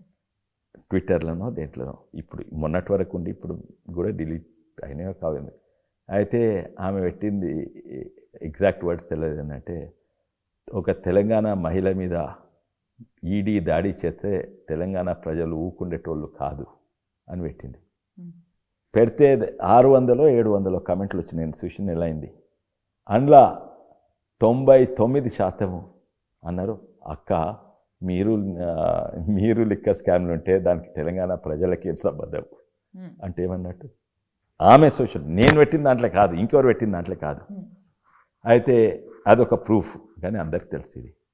Hmm. సానుభూతి లేదు అందరు నిందితులని తెలుసు. అండ్ అది మా విచిత్రమైన పరిస్థితి. మేము అరెస్ట్ చేస్తేనేమో ఈడీ మీ చేతులుండి అన్నారు అరెస్ట్ చేయకుంటే అంటే మీరు మొగోళ్ళా అని మన మనం ప్రశ్నించుడు. సో ఇప్పుడు ఎటుగాని పరిస్థితులు మరి టిఆర్ఎస్ వాళ్ళు ఏమంటున్నారంటే టీఎస్పీఎస్సీ కొట్లాట ఏదైతే అయ్యిందో పేపర్ లీకేజ్లు అయినాయి కదా. సో దీనిపైన బండి సంజయ్ని అరెస్ట్ చేసి చేసినప్పటి నుంచి ఆ పేపర్ లీకేజ్లు ఆగిపోయినాయి చూడండి అంటే ఇప్పుడు మీకు అర్థమైంది కదా ఎవరు చేస్తారు ఇదంతా? టీఆర్ వాళ్ళు Bandi Sanjay tenth tenth paper leak మీద మాట్లాడుతున్నారు tenth paper leak Bandi Sanjay చేసిందట లీక్ అంటే ఆడ పైపు పగిలిపోయింది. మొత్తం మీడియాలో వచ్చేసింది. ఆ పేపర్లే వచ్చేసినాయి. వచ్చేసినాక ఈయన చెప్తే అవును బహుశా లీక్ అంటే చిన్న కాడుతుంది. కానీ పైప్ పగిలిపోయినాక ఈయన లీక్ చేస్తాడేది అది ఎప్పుడు అని లెవెన్ ఓ క్లాకో ట్వెల్వ్ ఓ క్లాకో ఎప్పుడో వచ్చింది. అంతకు ముందే పేపర్లల్లో మీ యూట్యూబ్ ఛానళ్ళలో అన్నిట్లో వచ్చేసినాయి. వచ్చేసినాక ఈయన చెప్తే ఈయన లీక్ చేసిండట. సో మరి అది నిజం కాదు అంటారు. నేను చెప్పాలి ప్రజలకే తెలుసు ఏం నిజమైంది. మరి టీఎస్పీఎస్సీ లీకేజ్లలో ఎవరు హ్యాండ్ ఉందని మీరు అంటారు మరి? హండ్రెడ్ పర్సెంట్ ప్రభుత్వము. ప్రభుత్వం ప్రభుత్వంలో ఎవరిది రామారావుదా కవితాదా ఎవరిది ఎవరి హ్యాండ్? బహుశా అందులో బహుశా అందులో కేసీఆర్ హ్యాండ్ లేదంటున్నది. కుటుంబంలో ఒకరిదో ఇద్దరు హ్యాండ్ ఉన్నది. సో యాక్చువల్గా చాలా మంది ఏమనుకున్నారంటే మీరు ఎప్పుడైతే బీఆర్ఎస్ నుంచి బయటికి వచ్చిండ్రో అప్పుడు కాంగ్రెస్కి వెళ్ళిపోతారు అనుకున్నారు. కానీ కాంగ్రెస్కి పోయినాను. పోయి మళ్ళీ వచ్చేసారు మళ్ళీ ఇండిపెండెంట్ ఉంటుంది రెండేళ్ళు almost one one year ten months ఏదో ఇండిపెండెంట్గా ఉండి. తర్వాత బీజేపీ పార్టీని మొత్తం అర్థం చేసుకొని తెలుసుకొని వాళ్ళ సిద్ధాంతం ఏది? చాలామందికి బీ బీజేపీ పార్టీ అర్థం కాదు. అరే ఇది బీజేపీ ఏంద్రా? మళ్ళీ ఆర్ఎస్ఎస్ ఏంద్రా? ఈ విశ్వ హిందూ పరిషత్ ఏంద్రా? వాళ్ళ సిద్ధాంతాలు ఏంది వాళ్ళ లక్ష్యాలు ఏంది ఇవన్నీ తెలుసుకొని అంతే థియరీగా ఓకే. చదువుకొని అప్పుడు జాయిన్ అయినా. అది నాకు సూట్ అవుతుందా? ఇది మతతత్వ పార్టీ. ఇది నాన్ సెక్యులర్ పార్టీ నీకు సూట్ కాదు ఇంత ఎంతోమంది చెప్పిండ్రు. ఇవన్నీ చదువుకొనే అందుకే రీసెర్చ్ చేసి వచ్చిన అందుకే ఇవి చెప్తున్నాను. కానీ కొంతమంది మాట్లాడుకునే మాట ఏంటంటే రేవంత్ రెడ్డి గారితో పొస్కక అంటే పడక మీరు బయటకు వచ్చేసి అది రేవంత్ రెడ్డి గారిని అడిగాను కాదు. రేవంత్ రెడ్డి గారికి మ్యాక్సిమం సపోర్ట్ ఇచ్చింది నేనే. ఓకే. రేవంత్ రెడ్డి గారు కూడా నాకు మ్యాక్సిమం సపోర్ట్ ఇచ్చిండ్రు. నేను. నేను సపోర్ట్ లేక? అవునండి. ఇప్పుడు కూడా? ఇప్పుడు కూడా సో రేవంత్ రెడ్డి గారి ఏవైతే యాక్ట్స్ ఉన్నాయి ఈ మధ్య. ఏవైతే బయట తిరుగుడు కావచ్చు మాటలు కావచ్చు ఇవన్నీ వీటిపైన ఏమంటారు మీరు? పార్టీ కొరకు మంచి తన పార్టీ కొరకు మంచి పని చేస్తుండు. ఆయన ఉన్నదికే కాంగ్రెస్ పార్టీ బతికింది. ఎందుకంటే పాత కాంగ్రెస్ కల్చర్ ఈ రాక్షసుని కొట్లాడుతందుకు ఈ భాష ఈ విధానము సూట్ కాదు. నాకు కాంగ్రెస్ యాక్చువల్లీ వేరే వాళ్ళందరూ చాలా మంచి దగ్గర. కోమటిరెడ్డి వెంకటరెడ్డి కానీ లేకుంటే ఉత్తమ్ కుమార్ రెడ్డి కానీ బట్టి విక్రమార్క మల్ మల్లు రవి గారు వీళ్ళందరి దగ్గర ఎంతోమంది దగ్గర ఉన్న వాళ్ళు ఉన్నారు. ఇంకా ఇంతో అంతో దగ్గర లేని వాళ్ళు అంటే రేవంత్ రెడ్డి గారు. కానీ నేను రేవంత్ రెడ్డి గారికి చాలా సపోర్ట్ ఇచ్చిన. అండ్ దానివల్ల తను కూడా నాకు సపోర్ట్ ఇచ్చింది కాంగ్రెస్ పార్టీలో. ఓకే. అండ్ తను పీసీసీ కావడంలో నా పాత్ర పెద్ద పాత్రనే ఎంతోమందికి తెలుసు. అయితే మరి శశిధర్ రెడ్డి గారు మా సొంత బావ. వాళ్ళందరూ కొంచెము నువ్వేంది రేవంత్ సపోర్ట్ ఇస్తున్నావు? అంటే నేను రేవంత్ కాదు కాంగ్రెస్ పార్టీకి సపోర్ట్ ఇస్తున్నా. ఎందుకంటే రేవ రేవంత్ లేకుంటే కాంగ్రెస్ పార్టీ ఈయనతోటి అంటే వీక్ స్ట్రెంత్ కాదు. ఇవాళ రేపు ఎట్లయినా అంటే నువ్వు ఆ భాష వాడుకుంటే ఆ తిట్టకుంటే ఎవడు చూస్తలేడు. ఆ కల్చర్ డెవలప్ చేసింది కేసీఆర్ గారు. కేసీఆర్ గారికి సూట్ అయ్యే candidate కొట్టగలిగే candidate Revanth Reddy. Tug of war అయ్యేది ఆలకాలకే. అట్లాంటి వాళ్ళకి. సో మరి యాక్చువల్గా పొంగులేటి గారు జూపల్లి గారు కూడా మీకు మంచి ఫ్రెండ్స్ అన్నారు మీరు ఇందాక. మరి వాళ్ళిద్దరు కూడా పార్టీలకి వెళ్ళి బయటకు వచ్చిండ్రు. ఇప్పుడు ఇంకా ఏ పార్టీలో పోతారో అనౌన్స్ చేయలేదు. మొన్న మీటింగ్ అయింది. మీరు పొంగులేటి గారిని కలిసారు మీరు. రఘునందన్ గారు బండి సంజయ్ గారు. సో మరి అప్పుడు ఏం జరిగింది? ఎందుకు ఆయన ఒప్పియలేకపోతారు మీరు బీజేపీలోకి రమ్మని?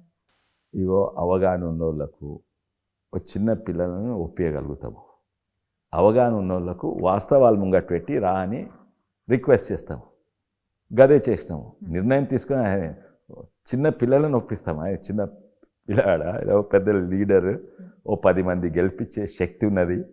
అయితే తను తను ఒప్పుకోవాలి. మేము ఒక ఒకటైతుంది తను చెప్పేది కరెక్ట్.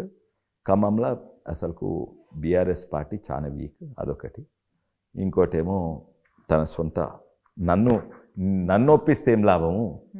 నా కిందున్న నాయకులను ఖమ్మం ప్రజలను ఒప్పియాలి అప్పుడు నేనే మీ దగ్గరకు వస్తా అంటున్నాడు. అది. కరెక్ట్. అయితే మేము ఇప్పుడు ఓ సిక్స్ మంత్స్ కింద అయితే అసలు జీరో జీరో చాలా వీక్ ఉంటుంది కొంచెం పెరుగుతున్నాం ఇక్కడ ఖమ్మంలో. ఖమ్మంలో పెరగడానికి ఏమేం చేయాలి? మీరు ఏం చేస్తున్నారు అసలు? మొదలు ఖమ్మంలో పెరుగుతుంది నేను పెట్టేది ఉంటుంది ఆ రోజు అదే రోజుగా నేను నాకు కూడా ఇది ఉండే వాపస్ అవ్వ. ముఖ్యంగా ఖమ్మంలో చాలా రాజకీయ అవగాహన ఉన్నోళ్ళు చాలా మటుకు లెఫ్ట్ భావజాలు ఉన్న ఉన్నోళ్ళు. అండ్ అక్కడ ఇదే బీజేపీ అంటే మతతత్వ పార్టీ. బీజేపీ అంటే యాంటీ సెక్యులర్ పార్టీ. ఇవన్నీ ఆరోపణలు మా మీద ఉంది. అండ్ చాలామంది నమ్ముతారు. దాంట్లో నేను కూడా బీజేపీలో రాకముందు దాంట్లో వాస్తవాలు ఉన్నాయి కొన్ని కొంతమంది వాస్తవాలు ఉన్నాయి. స్టార్టింగ్ విత్ బీజేపీ అంటే హిందుత్వ పార్టీ. అరే హిందుత్వ అంటే అది హిందూ మతానికి సంబంధించింది కాదు. హిందూ అంటే ఇండియా అది జాతీయ జాతీయవాదం. ఇది చాలా మందికి తెలియదు. అంటే ఫర్ ఎగ్జాంపుల్ ఇప్పుడు నేను ఒక హిందువుని అని చెప్పుకుంటే నేను మిగతా మతాలకు వ్యతిరేకిని అని అర్థం కాదు. అర్థం కదా అండ్. ఆల్సో అండ్ బీజేపీ కూడా హిందూ అని చెప్పుకోదు. ఇండియా కల్చర్ ఇస్ హిందూ సాంప్రదాయాలు ఉంటాయి హిందూ మతం ఉంటుంది. కానీ హిందుత్వ అంటే మీనింగ్ ఏమో ఇండియా అన్నట్టు. Okay. Via Indianism or nationalism సనాతన ధర్మం. నో నో నో కాదు. Hmm. బీజేపీ సనాతన ధర్మం ఎందుకంటే అది భారతదేశానికి సంబంధించి దానివల్లనే Hmm. కానీ హిందుత్వ అంటే అది సనాతన ధర్మం కాదు. అది నేషనలిజం. భారతీయులము మనం భారతదేశం నంబర్ వన్ ఉండే వెనకట రెండు వేల ఏళ్ళ కింద మళ్ళీ వచ్చే పదో ఇరవయో ముప్పయో నలభై ఏళ్ళలో మళ్ళీ నంబర్ వన్ ఉండాలి ప్రపంచంలో. అది దాని లక్ష్యము. దాని సిద్ధాంతమేమో జాతీయవాదం అంటారు నేషనలిజం అంటారు. సో బీజేపీ సిద్ధాంతము హిందూ మతంకు చాలా ఇండైరెక్ట్లీ కనెక్టెడ్ ఉంది. ద కామన్ థ్రెడ్ ఏంటంటే ఇండియా పేరు హిందుస్థానే. హిందూ మతం పేరు హిందుస్థానే. హిందూ మతం పేరు హిందువే. ఎందుకంటే అది పేరు పెట్టింది మనం కాదు బ్రిటిష్ వాళ్ళు పెట్టిండ్రు. హిందూ మన మతానికి పేరు పెట్టింది బ్రిటిష్ వాళ్ళు. మనదేమో సనాతన ధర్మం అంటారు. అయితే అప్పుడు హిందుత్వాన్ని కాయిన్ చేసిన ఆయన RSS exact date nineteen forties అయింది.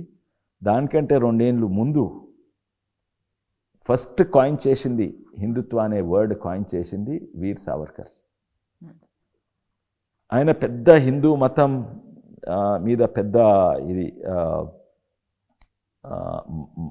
మతం మీద పిచ్చి లేకుండే ఆయనకు ఇంకా కొందరు అంటారు ఆయన నాస్తికుడు కూడా అంటారు కొందరు అయితే ఇది ఆయన కాయిన్ చేసిండు ఏంది ఈ పదము హిందుత్వ అని హిందుత్వ ఉమ్. అండ్ ఆయన డెఫినేషన్ ప్రకారం హిందుత్వ అంటే జాతీయవాదం హిందుత్వ అంటే హిందూ మతం కాదు తర్వాత.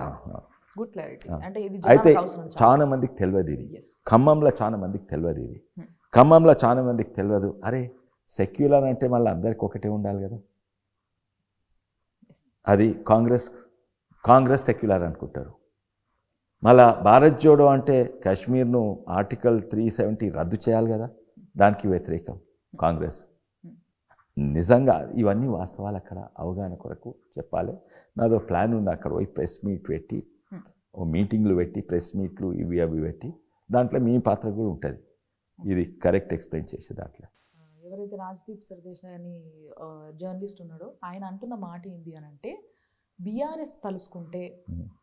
ఏమైనా చేయగలుగుతుంది మొత్తం అన్ని పార్టీలను పైసలు పెట్టి కొనేసేస్తుంది అనేసి అంటారు. ఇది నిజమా?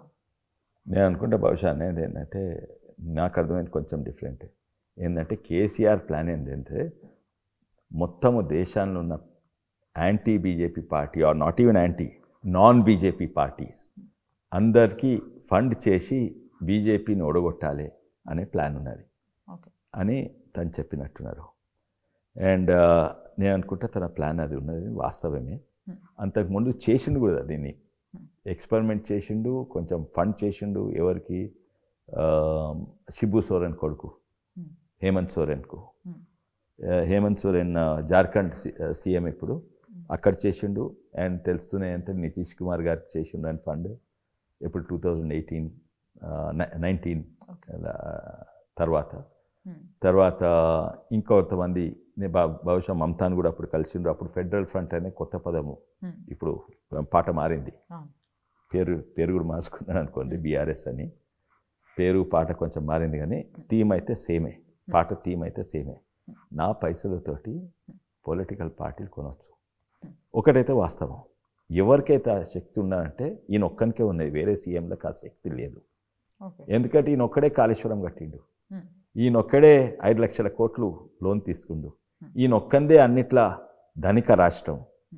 అండ్ ఈ ఒక్కనే కరప్షన్ ఎంత చేసిందంటే ఆ దాంతో సాధ్యం. ఆ దాంతో సాధ్యం. అయితే పై ఈయనతోటి అది ఆ ప్లాన్ కొనగలుగుతాడు. కానీ వీళ్ళు అమ్ముడు పోతారా? ఇంకోటి అన్నిట్లా పెద్ద ఫ్యాక్టర్ ఏంది? ఈయనతో ట్రస్ట్ ఫ్యాక్టర్ లేదు.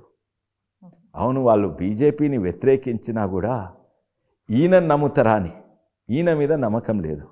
ఎంతోమంది నాయకులు నాకు బీజే అక్కడ ఎంపీ ఉన్నప్పుడు చెప్పిండ్రు. తృణమూల్ కాంగ్రెస్ అయినా ఎంతోమంది సీనియర్ ఎంపీలు. ఈయన చేస్తున్న మంచిగానే ఈయన ఎవరు నమ్మరని ఓకే. వాళ్ళ అధ్యక్షుడు. సో ఈయన మీద నమ్మ మెయిన్ ఆయనకు ప్రాబ్లం ఏంటంటే ట్రస్ట్ ఫ్యాక్టర్ లేదు. అయితే ఫెడరల్ ఫ్రంట్ ఉన్నప్పుడు డెఫినెట్లీ అప్పుడు ఫండ్ చేసిండు. ఇప్పుడు ఇప్పుడు కొంచెము దాన్నే కొంచెం డిఫరెంట్గా అండ్ మోర్ సీరియస్గా హీస్ ట్రయింగ్. అండ్ ఆయనకు ఆ కాన్ఫిడెన్స్ ఉంది. నేను కొనగలుగుతాను. ఓకే. సో మరి బీఆర్ఎస్ తలుచుకుంటే ఏ ఎవరినైనా కొనేయగలుగుతుంది బీజేపీని తప్ప అని మీరు అంటున్నారు. కానీ బీజేపీ తలుచుకుంటే ఒక గవర్నమెంట్ ఫామ్ చేయడానికి ఎన్ని సీట్లు కావాలో. అవి రాకున్నా గవర్నమెంట్ ఫామ్ చేసిన చరిత్ర బీజేపీకి ఉంది డీటెయిల్గా నాకు చెప్తేందుకు నాకు నాకు రాజకీయాలకు ఎక్కుతే అది ప్రతి రాష్ట్రం రాజకీయం డీటెయిల్గా తెలియదు మీరు ప్రశ్న లక్ష్మణ్ గారిని అడగండి. మంచిగా ఎక్స్ప్లెయిన్ చేస్తారు మా నాయకుడు లక్ష్మణ్ గారికి నాకంటే ఎక్కువ కాదు నేను. చెప్తాను బట్ ఎనివే నాకు తెలిసింది చెప్తాను. ఉదాహరణంగా. మంచి ఎగ్జాంపుల్ ఏంటంటే మహారాష్ట్ర. మహారాష్ట్రలో యాక్చువల్లీ అక్కడ మేమే పార్టీ ఫామ్ చేయాలి మా పార్ట్నర్ ఎవరండి శివసేన. శివసేన శత్రువులు ఎవరు శివసేన సిద్ధాంతాలకు వ్యతిరేకంగా ఎవరు ఎన్సిపి కాంగ్రెస్. వాళ్ళు మా మీద కుట్ర చేసి శివసేనను కలుపుకొని మా ప్రభుత్వాన్ని కింద పడేసారు ఇప్పుడు వాళ్ళ సిద్ధాంతాలకు వ్యతిరేకం ఉన్న వాళ్ళతోటి వాళ్ళు కలుసుకున్నారు. ఎవరు కాంగ్రెస్ ఎట్లయితే ఇక్కడ కమ్యూనిస్టులు పోయో ఓ దొరపాలంతో కలుసుకున్నారో అట్లనే అక్కడ అక్కడ Congress most unlikely most opposite Siddhant Congress NCP ఈ మూడు కలిసి మమ్మలను పడగొట్టింది. అది ఉండలేకపోయింది. అందులో మంది సగం మంది వ్యతిరేకించిండ్రు సగం కంటే ఎక్కువ మంది.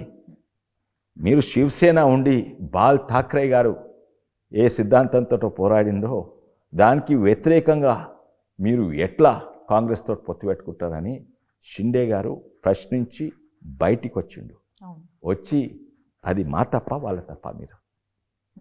ఆ దాన్ని మా తప్పు మేము వాడేస్తున్నామని మమ్మలను వాళ్ళు అన్హోలీ పార్ట్నర్స్ దగ్గర అయినరు వాళ్ళు. మేము కాదు. సో యాక్చువల్గా మహారాష్ట్ర అంటే ఎస్ పెద్ద స్టేట్ కాబట్టి అండ్ దాంట్లో కూడా భిన్నమైన పార్టీలు ఉన్నాయి ఒక్కొక్కరు ఒక్కొక్క ఎజెండాలు ఉన్నాయి కాబట్టి ఇట్ హ్యాపెండ్. అండ్ చాలా politics as we were talking అన్ని పాలిటిక్స్ ఎన్నో ఉంటాయి. Hmm. సో ఈ పాలిటిక్స్లో ఇది ఒక భాగం కానీ వేరే నేను చెప్పే మాట ఏదైతుందో ఇది కూడా అక్షరాల నిజం. ఎక్కడ? లాస్ట్ టూ థౌజండ్ నైన్టీన్ నుంచి ఒక ఏడు రాష్ట్రాలల్లా ఫర్ ఎగ్జాంపుల్ త్రిపుర కావచ్చు గోవా కావచ్చు అంటే మినిమం లీస్ట్ సీట్స్ వచ్చినప్పటికీ బీజేపీ మిగతా ఎదురుంగ పార్టీని చీల్చి గవర్నమెంట్ ఫామ్ చేయడం అనేది జరిగింది. సో ఇప్పుడు ఇదే జరుగుతుందా? తెలంగాణలో కూడా జరిగే అవకాశం ఉంది? ఎందుకంటే హంగ్ వచ్చే అవకాశం ఎక్కువ ఉంది అని సర్వేలు చెప్తున్నాయి. ఇప్పుడు ప్రస్తుతం హంగొచ్చే అవకాశం ఉన్నది. నేను దాన్ని కూడా నేను అంగీకరిస్తా. నేను చెప్పినట్టు మేము కొంచెము పార్టీని మంచి నిర్ణయం చేసి చేసుకుంటే బూత్ లెవెల్ వరకు మేమే నాట్ సింగిల్ లార్జెస్ట్ పార్టీ మేము అరవై తప్పక దాటుతామన్న అది కూడా నమ్మకం ఉంది. కానీ ఒకవేళ హంగ్ వస్తే మేము ఎవరిని చీల్స్తాము? కాంగ్రెస్నా? లేకుంటే ఇప్పుడు కాంగ్రెస్ను ఈయన ఎవరు? కేసీఆర్ చీల్చిండంటారా ఇది? కాంగ్రెస్ ఉన్నది కదా. సగం మంది అక్కడ సగం కాదు టూ థర్డ్స్ అక్కడ పోయిండ్రు. అయితే వాళ్ళు పోయిండ్రు. మేము పోయి లోపల చీల్చడమే. అంటే టీఆర్ఎస్. చీల్స్తామంటారా అంటురా కాంగ్రెస్ టీఆర్ఎస్ను చీల్స్తామంటారా? ఇంకా వేరే ఆప్షన్ కూడా లేదు. అయితే టీఆర్ఎస్ చీల్చామంటే దాంట్లో ఒకటే ఒక డైరెక్ట్ మాట్లాడాలంటే హరీష్ రావు బయటికి వస్తాడా? అదైతే వాస్తవం. అంతే కదా టీఆర్ఎస్ చీల్చడం అంటే మీనింగ్ ఏంటంటే హరీష్ రావు బయటికి వస్తాడా? Hmm. అది వాళ్ళ ఫ్యామిలీ ఇష్యూ. బయటికి వస్తుండొచ్చు ఎందుకంటే నిజమైన లీడర్ అక్కడ ఎవరైనా ఉన్నట్టే హరీష్ రావు గారు. అండ్ ఇది ఆయన ఆయన మీద ఉంటాడు. మేము ఎట్లయితే మేము పొంగులేటి శ్రీనివాస్ రెడ్డి గారిని బతిలాడో లేకపోతే ఏం చేసినా ఒప్పించగలుగుతలేమో అది కూడా మేము హరీష్ రావు గారిని ఒప్పించగలగము. తనే అక్కడ వచ్చి బయటికి వస్తే వస్తుండొచ్చు. కానీ ద- హరీష్ రావు గారిను అండ్ వాళ్ళ ఫ్యామిలీను మేము మధ్యలో పోయి చీల్చగలగము. వాళ్ళే వాళ్ళే నిస్సన తెప్పి బయటకు వస్తూ వస్తారు అప్పుడు అది చీలిపోతుంది. అది మా వల్ల కాదు. చీలిపోయినా కూడా అది మా వల్ల కాదు. ఇంకా ఎందుకంటే హరీష్ రావు గారు ఒక పెద్ద నా చాలా ఎక్స్పీరియన్స్ ఉన్న లీడర్. ఇప్పుడు ఇప్పుడున్న పరిస్థితి చూస్తుంటే ఈ వచ్చే ఎలక్షన్స్లో మీ లెక్క ప్రకారం బీజేపీకి ఎన్ని సీట్లు వస్తుండొచ్చు? వచ్చే ఎలక్షన్స్ ఆరు నెలలు ఉన్నది. మాది డెఫినెట్ అరవై దాటుతామనే నమ్మకం నాకున్నది. దాంట్లో ఒకటే ఒక హిచ్ నేను ముందే చెప్పినాను. మేము కొంచెం స్లో పోతున్నాము మా అనుకున్నంత స్పీడ్ మాది పెంచుతలేము Hmm. అండ్ దీంట్లో ఆఫ్ కోర్స్ వేరేవి కూడా ఫ్యాక్టర్స్ ఉన్నాయి. అవి అయితే స్పీడ్ కూడా ఇస్తుంది అంటే పార్టీ నిర్మాణం నో ఎక్స్క్యూజెస్ అది మేము చేసే పని. Hmm. అది పొంగులేటి శ్రీనివాస్ రెడ్డి గారు రాని అటు కోబట్టి జూపల్లి రాని ఎవ ఎవరైనా పెద్ద లీడర్ రాని అది దీనికి సంబంధం లేదు. అఫ్ కోర్స్ కానీ అది గిట్ట ఒకటి అయితే తప్పనిసరిగా మేము డెబ్బై దాస్తాము అండ్ దీని తర్వాత ఎన్నో రెండు మూడు ఉన్నాయి. కర్ణాటక ఎలక్షన్స్ ఇప్పుడు చెప్పినట్టు కవిత గారి అరెస్ట్ వాళ్ళకి నమ్మకం వస్తుంది. చాలామంది వెయిట్ చేస్తున్నారు. ఏంటంటే అసలు మీరు సీరియస్ ఉండరా అని. ఏది? కేసీఆర్ మీద సీరియస్ ఉండరా? తెలంగాణ మీద సీరియస్ ఉండరా? బయట వాళ్ళకి ఆ నమ్మకం లేదు. మాకున్న నమ్మకం. వచ్చేటోళ్ళకు. దీంట్లో అన్నిట్లో పెద్ద ప్రాబ్లం మాకు. ఎవరికి? మేము జాయినింగ్ కమిటీలు ఉన్నాం. ఇప్పుడు ఈ రెండు మూడు అయ్యే వరకు ఎవరు జాయిన్ అవుతానికి తయారైతలేరు. అయితే ఈ కర్ణాటక ఎలక్షన్స్ కవిత అనేదంగా ఇంకా లైన్ కడతారని మాకు అందరు మా టచ్ ఉన్నారు. అండ్ దాని నమ్మకం వస్తే చాలా మంది జాయిన్ అవుతారు. సో ఒక టూ ఫ్యాక్టర్స్ టిఆర్ఎస్ నుంచి టచ్ ఉన్నారా ఉన్నారు. కొందరు మంత్రులు కూడా ఉన్నారు. అండ్ ఈ రెండు ఫ్యాక్టర్స్ అయితే చాలా స్పీడప్ అవుతాయి ఏది? జాయినింగ్ కమిటీలా సో అది ఇట్స్ ఎక్స్టర్నల్ ఫ్యాక్టర్ బట్ ఆ own internal factor it is not to our satisfaction okay so మీరు ఇందాక నేను ఎదురుంగ పార్టీని చీల్చి గవర్నమెంట్ ఫామ్ చేస్తారా అని అంటే మహారాష్ట్ర ఎగ్జాంపుల్ చెప్పారు నాకు. ఒకవేళ ఇప్పుడు హంగ్ వచ్చే అవకాశం ఎక్కువ ఉంది సర్వేలు చెప్తున్నాయి అంటే మీరు కూడా యాక్సెప్ట్ చేసారు అవును అదే ఎక్కువ ఉంది అని అంటున్నారు అని. ఒకవేళ నిజంగానే హంగ్ వస్తే Hmm. అప్పుడు మరి మీకు ఒకవేళ ముప్పై నలభై సీట్లు వచ్చినాయి అనుకోండి మరి ఎవరిని చీల్చకుండా ఎవరిని జాయిన్ చేసుకోకుండా విడిచేస్తారా సార్? గవర్నమెంట్ని ఫామ్ చేయకుండా అట్లా ఎట్లా వదులుకుంటారు? మీరు ఒకటే చెప్తున్నారు చేయాలంటే మేము చీల్చాలి. నేను అనేది మేము చీల్సే అవసరం లేదు. వాళ్ళే- చీలిపోతారు అని అర్థం డిఫరెన్స్. వాళ్ళు అందరు ఎట్లున్నారంటే సార్ నిన్న కూడా నేను కొంతమందిని కలిసి నుండి. సో వాళ్ళు ఎట్లున్నారు అని అంటే టీఆర్ఎస్ లీడర్లు లేదు మా ప్రాణం ఉన్నంత వరకు ఇలానే ఉంటాం. అబ్బా! వాళ్ళ ప్రాణం ఉన్నది చామకూర మళ్ళా. అట్లే అన్నాను. ప్రాణం ఉందా చంద్రబాబే దేవుడు. మళ్ళీ ఏంది నిన్నటి వరకు చంద్రబాబు దేవుడా? అవునయ్యా ఇప్పుడు ఈ చంద్రశేఖర్ గారు దేవుడు. వాళ్ళు దేవుళ్ళు ఈ మార్చుకుంటారు. ఏ నాయకులని జనాలు నమ్మేటట్టు లేదు లేరు. ఎస్పెషల్లీ వీళ్ళలో. ఎందుకంటే వాళ్ళకి సిద్ధాంతాన్ని చెప్పింది కదా ఎంతోమంది ఎన్నో కారణాల వల్ల రాజకీయాలకు వస్తారు. మేము కొంతమంది ఉద్యమకారులు రాజకీయాలకు వచ్చింది తెలంగాణ కొరకు. అయితే- వీళ్ళు వాళ్ళు వచ్చింది కేవలము పదవి కొరకో లేకుంటే పేరు కొరకో నా దగ్గర ఇన్ని పైసలు ఉన్నాయి నాకు పేరు లేదు. నా దగ్గర ఇన్ని కాలేజెస్ ఉన్నాయి నాకు పేరు లేదు అందరూ మల్లయ్య మల్లయ్య అని పిలుస్తున్నారు అయితే ఎన్నో కారణాలు. సో మరి బీజేపీ గెలిస్తే తెలంగాణలో. బీజేపీ గవర్నమెంట్ ఫామ్ చేస్తే. తెలంగాణకి ఎలాంటి లాభాలు ఉండబోతున్నాయి ఎందుకంటే ఇంతకుముందు గతంలో టీఆర్ఎస్ గెలిస్తే తెలంగాణ బాగుపడుతుంది బంగారు తెలంగాణ అవుతుంది అని ఒక నినాదంతో వాళ్ళు గెలవడం జరిగింది అది జరిగిందా జరగలేదా ఎంతవరకు జరిగిందా అనేది జనాలకు బాగా తెలుసు. వాళ్ళకి క్లారిటీ ఉంది. మరి ఒకవేళ బీజేపీ గెలిస్తే ఏంది పరిస్థితి?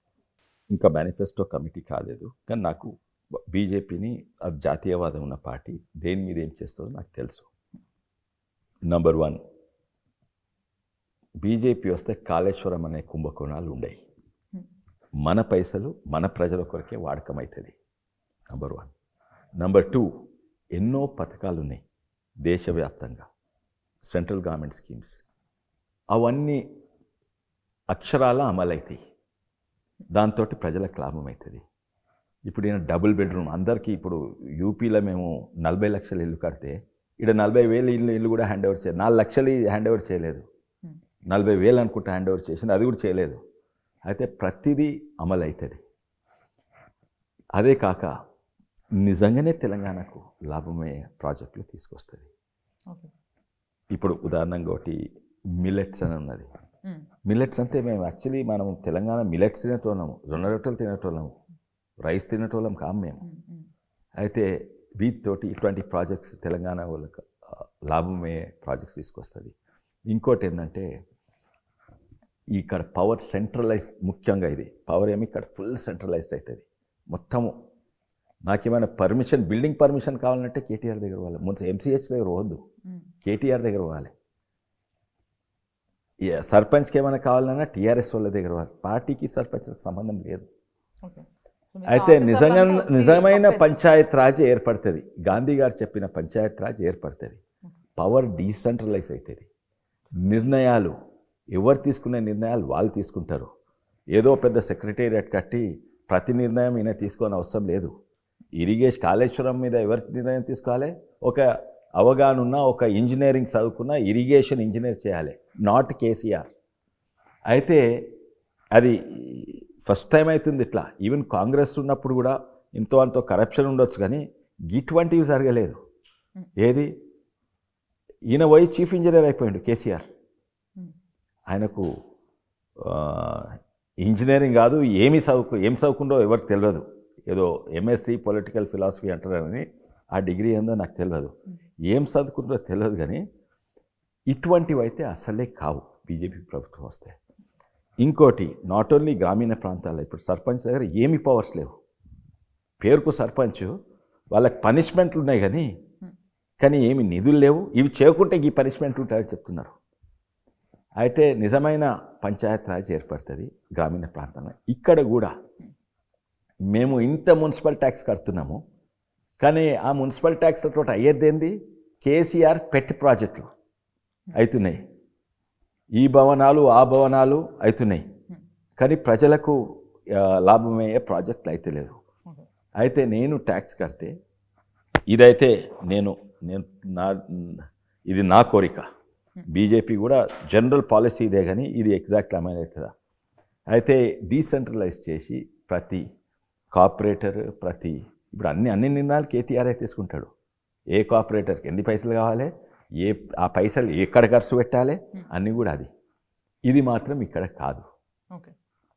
సో మరి బీఆర్ఎస్ అనేది. ఇప్పుడు నేషనల్ లెవెల్లో.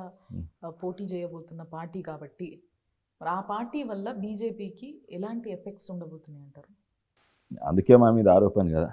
ఇప్పుడు కాంగ్రెస్ అంటే ఆయన బీఆర్ఎస్ పెడితే లాభం అయ్యేది బీజేపీకి అని మా రేవంత్ రెడ్డి గారు అంటారు. అందుకే మీరు కుబ్బక్క వెళ్ళది కానీ అది వాస్తవం కాదు. ఇది ఈయన చాదస్తం.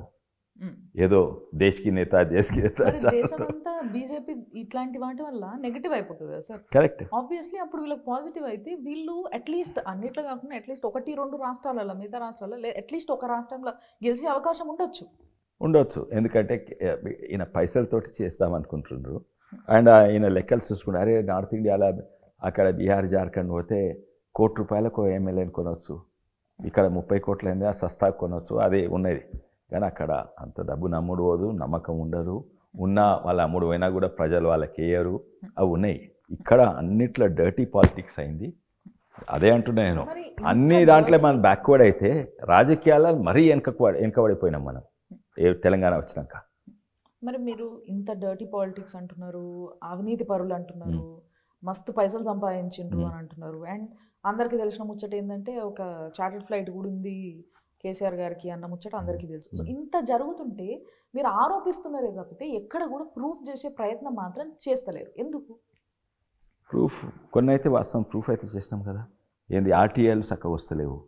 అయితే ఇది కాళేశ్వరంది పదమూడు వేల కోట్లు అయితే కట్టాలి కదా ఈ ఏడాది. ఏది పదమూడు వేల కోట్లు అదే పదమూడు వేల కోట్లు రైతులకు ఇస్తానని మంచిగా ఉంటుండే కదా? అది ఇంట్రెస్ట్. ఎవరికి లాభం అంది? ఎంతమంది రైతులకు వచ్చింది? ఎస్పెషలీ మా మా దిక్కు రంగారెడ్డి జిల్లా దిక్కు ఒక్క రైతుకు ఒక్క సుక్క ఒక్క ఎకరానికి ఒక్క సుక్క నీళ్ళు ఇప్పటి వరకు రాలేదు. ఇలా పాలమూరు రంగారెడ్డి నుంచి రాలేదు కాళేశ్వరం నుంచి రాలేదు దేని నుంచి రాలేదు. అయితే వస్తున్నాయి బయటికి. ఇప్పుడు నుంచి కరెక్ట్ ఇన్ఫర్మేషన్ రాకపోవడానికి కారణం స్టేట్ అయితే కదా సార్? స్టేటే. ఆర్టీఐ సెంట్రల్ లేదు లేదు లేదు. ఇది ఆర్టీఐ సెంట్రల్ ఏమో central government okay state government ఇవ్వాలి ఆర్టీఐ అయితే నువ్వు స్టేట్ గవర్నమెంట్ ఇవ్వాలే కానీ ఇస్తలేదు. అంత ఏం తయారైనా- చేసుకోపో నేను ఇయ్యాను. డైరెక్ట్ అంటున్నారు. ఓకే నువ్వు ఏం చేసుకుంటావు చేసుకోపో నేను ఇయ్యాను. Hmm. ఇది యాక్చువల్లీ నేషనల్ మన కాన్స్టిట్యూషన్ ఏంటంటే. ఒక నిమిషం ఆలోచిస్తే మీకు అంత పెద్ద పనేం కాదు సార్ ఇది. ఎందుకంటే అన్ని కనిపిస్తున్నవే. రైట్? ఇప్పుడు నేను అన్నట్టుగా ఫ్లైట్ గురించి. ఇట్లాంటివి కనిపిస్తున్నాయి చాలా. ఇట్లాంటివి కనిపించినప్పుడు ప్రూఫ్ చేయడం అనేది చాలా ఈజీ మీకు. కానీ మీరు చేస్తలేరు అంటే వాళ్ళు మీరు ఒకటేనేమో అన్న డౌట్ చాలా వరకు చాలా మందికి ఉంది. వాస్తవం అది కరెక్ట్. నేను దాన్ని వ్యతిరేకిస్తున్నాను మీరు చెప్పింది వాస్తవం. అయితే చాలామందికి ఆ డౌట్ ఉన్నది. ఆ డౌట్ ఎప్పుడు పోతుంది? వీళ్ళ మీద చర్యలు తీసుకుంటే. అది బీజేపీ ప్రతి కార్యకర్తకు ఉన్నది ఎంత ఎట్లయితే మీకుందో ప్రతి బీజేపీ కార్య ఎప్పుడు తీసుకుంటారు చర్యలు ఎప్పుడు తీసుకుంటారు చర్యలు అని వాళ్ళు కూడా చూస్తున్నారు. మాకు కొంచెం సీనియర్ వాళ్ళకేమో కొంచెం పేషెన్స్ ఉంటుంది. ఓపిక ఎక్కువ ఉంటుంది జూనియర్స్కి ఏమో ఓపిక తక్కువ ఉంటుంది నాకు- ఇంకోటి ఏంటంటే ఎంత ఏమైనా కూడా నేను ఇంతకు ముందు చెప్పిన. ఈడీ అంటే ప్రతి దానిలో ఈవెన్ తప్పు చేసినా కూడా దానికి బాగా డాక్యుమెంటేషన్ ఇది అది ఎవరు ఈవెన్ ఓ జడ్జ్ అయినా ఓ లాయర్ అయినా ఓ డాక్టర్ అయినా దానికి ఒక డాక్యుమెంటేషన్ ఉండాలి. డాక్యుమెంటేషన్కి ఎవిడెన్స్ ఉండాలి. దానివల్ల ఈ కన్క్లూషన్ ఈ డాక్యుమెంట్ దొరుకుతుంది ఈ సుబూతులున్నాయి దీనివల్ల మా కన్క్లూషన్ ఏంటంటే కవిత ఇందులో ఇన్వాల్వ్ ఉంది.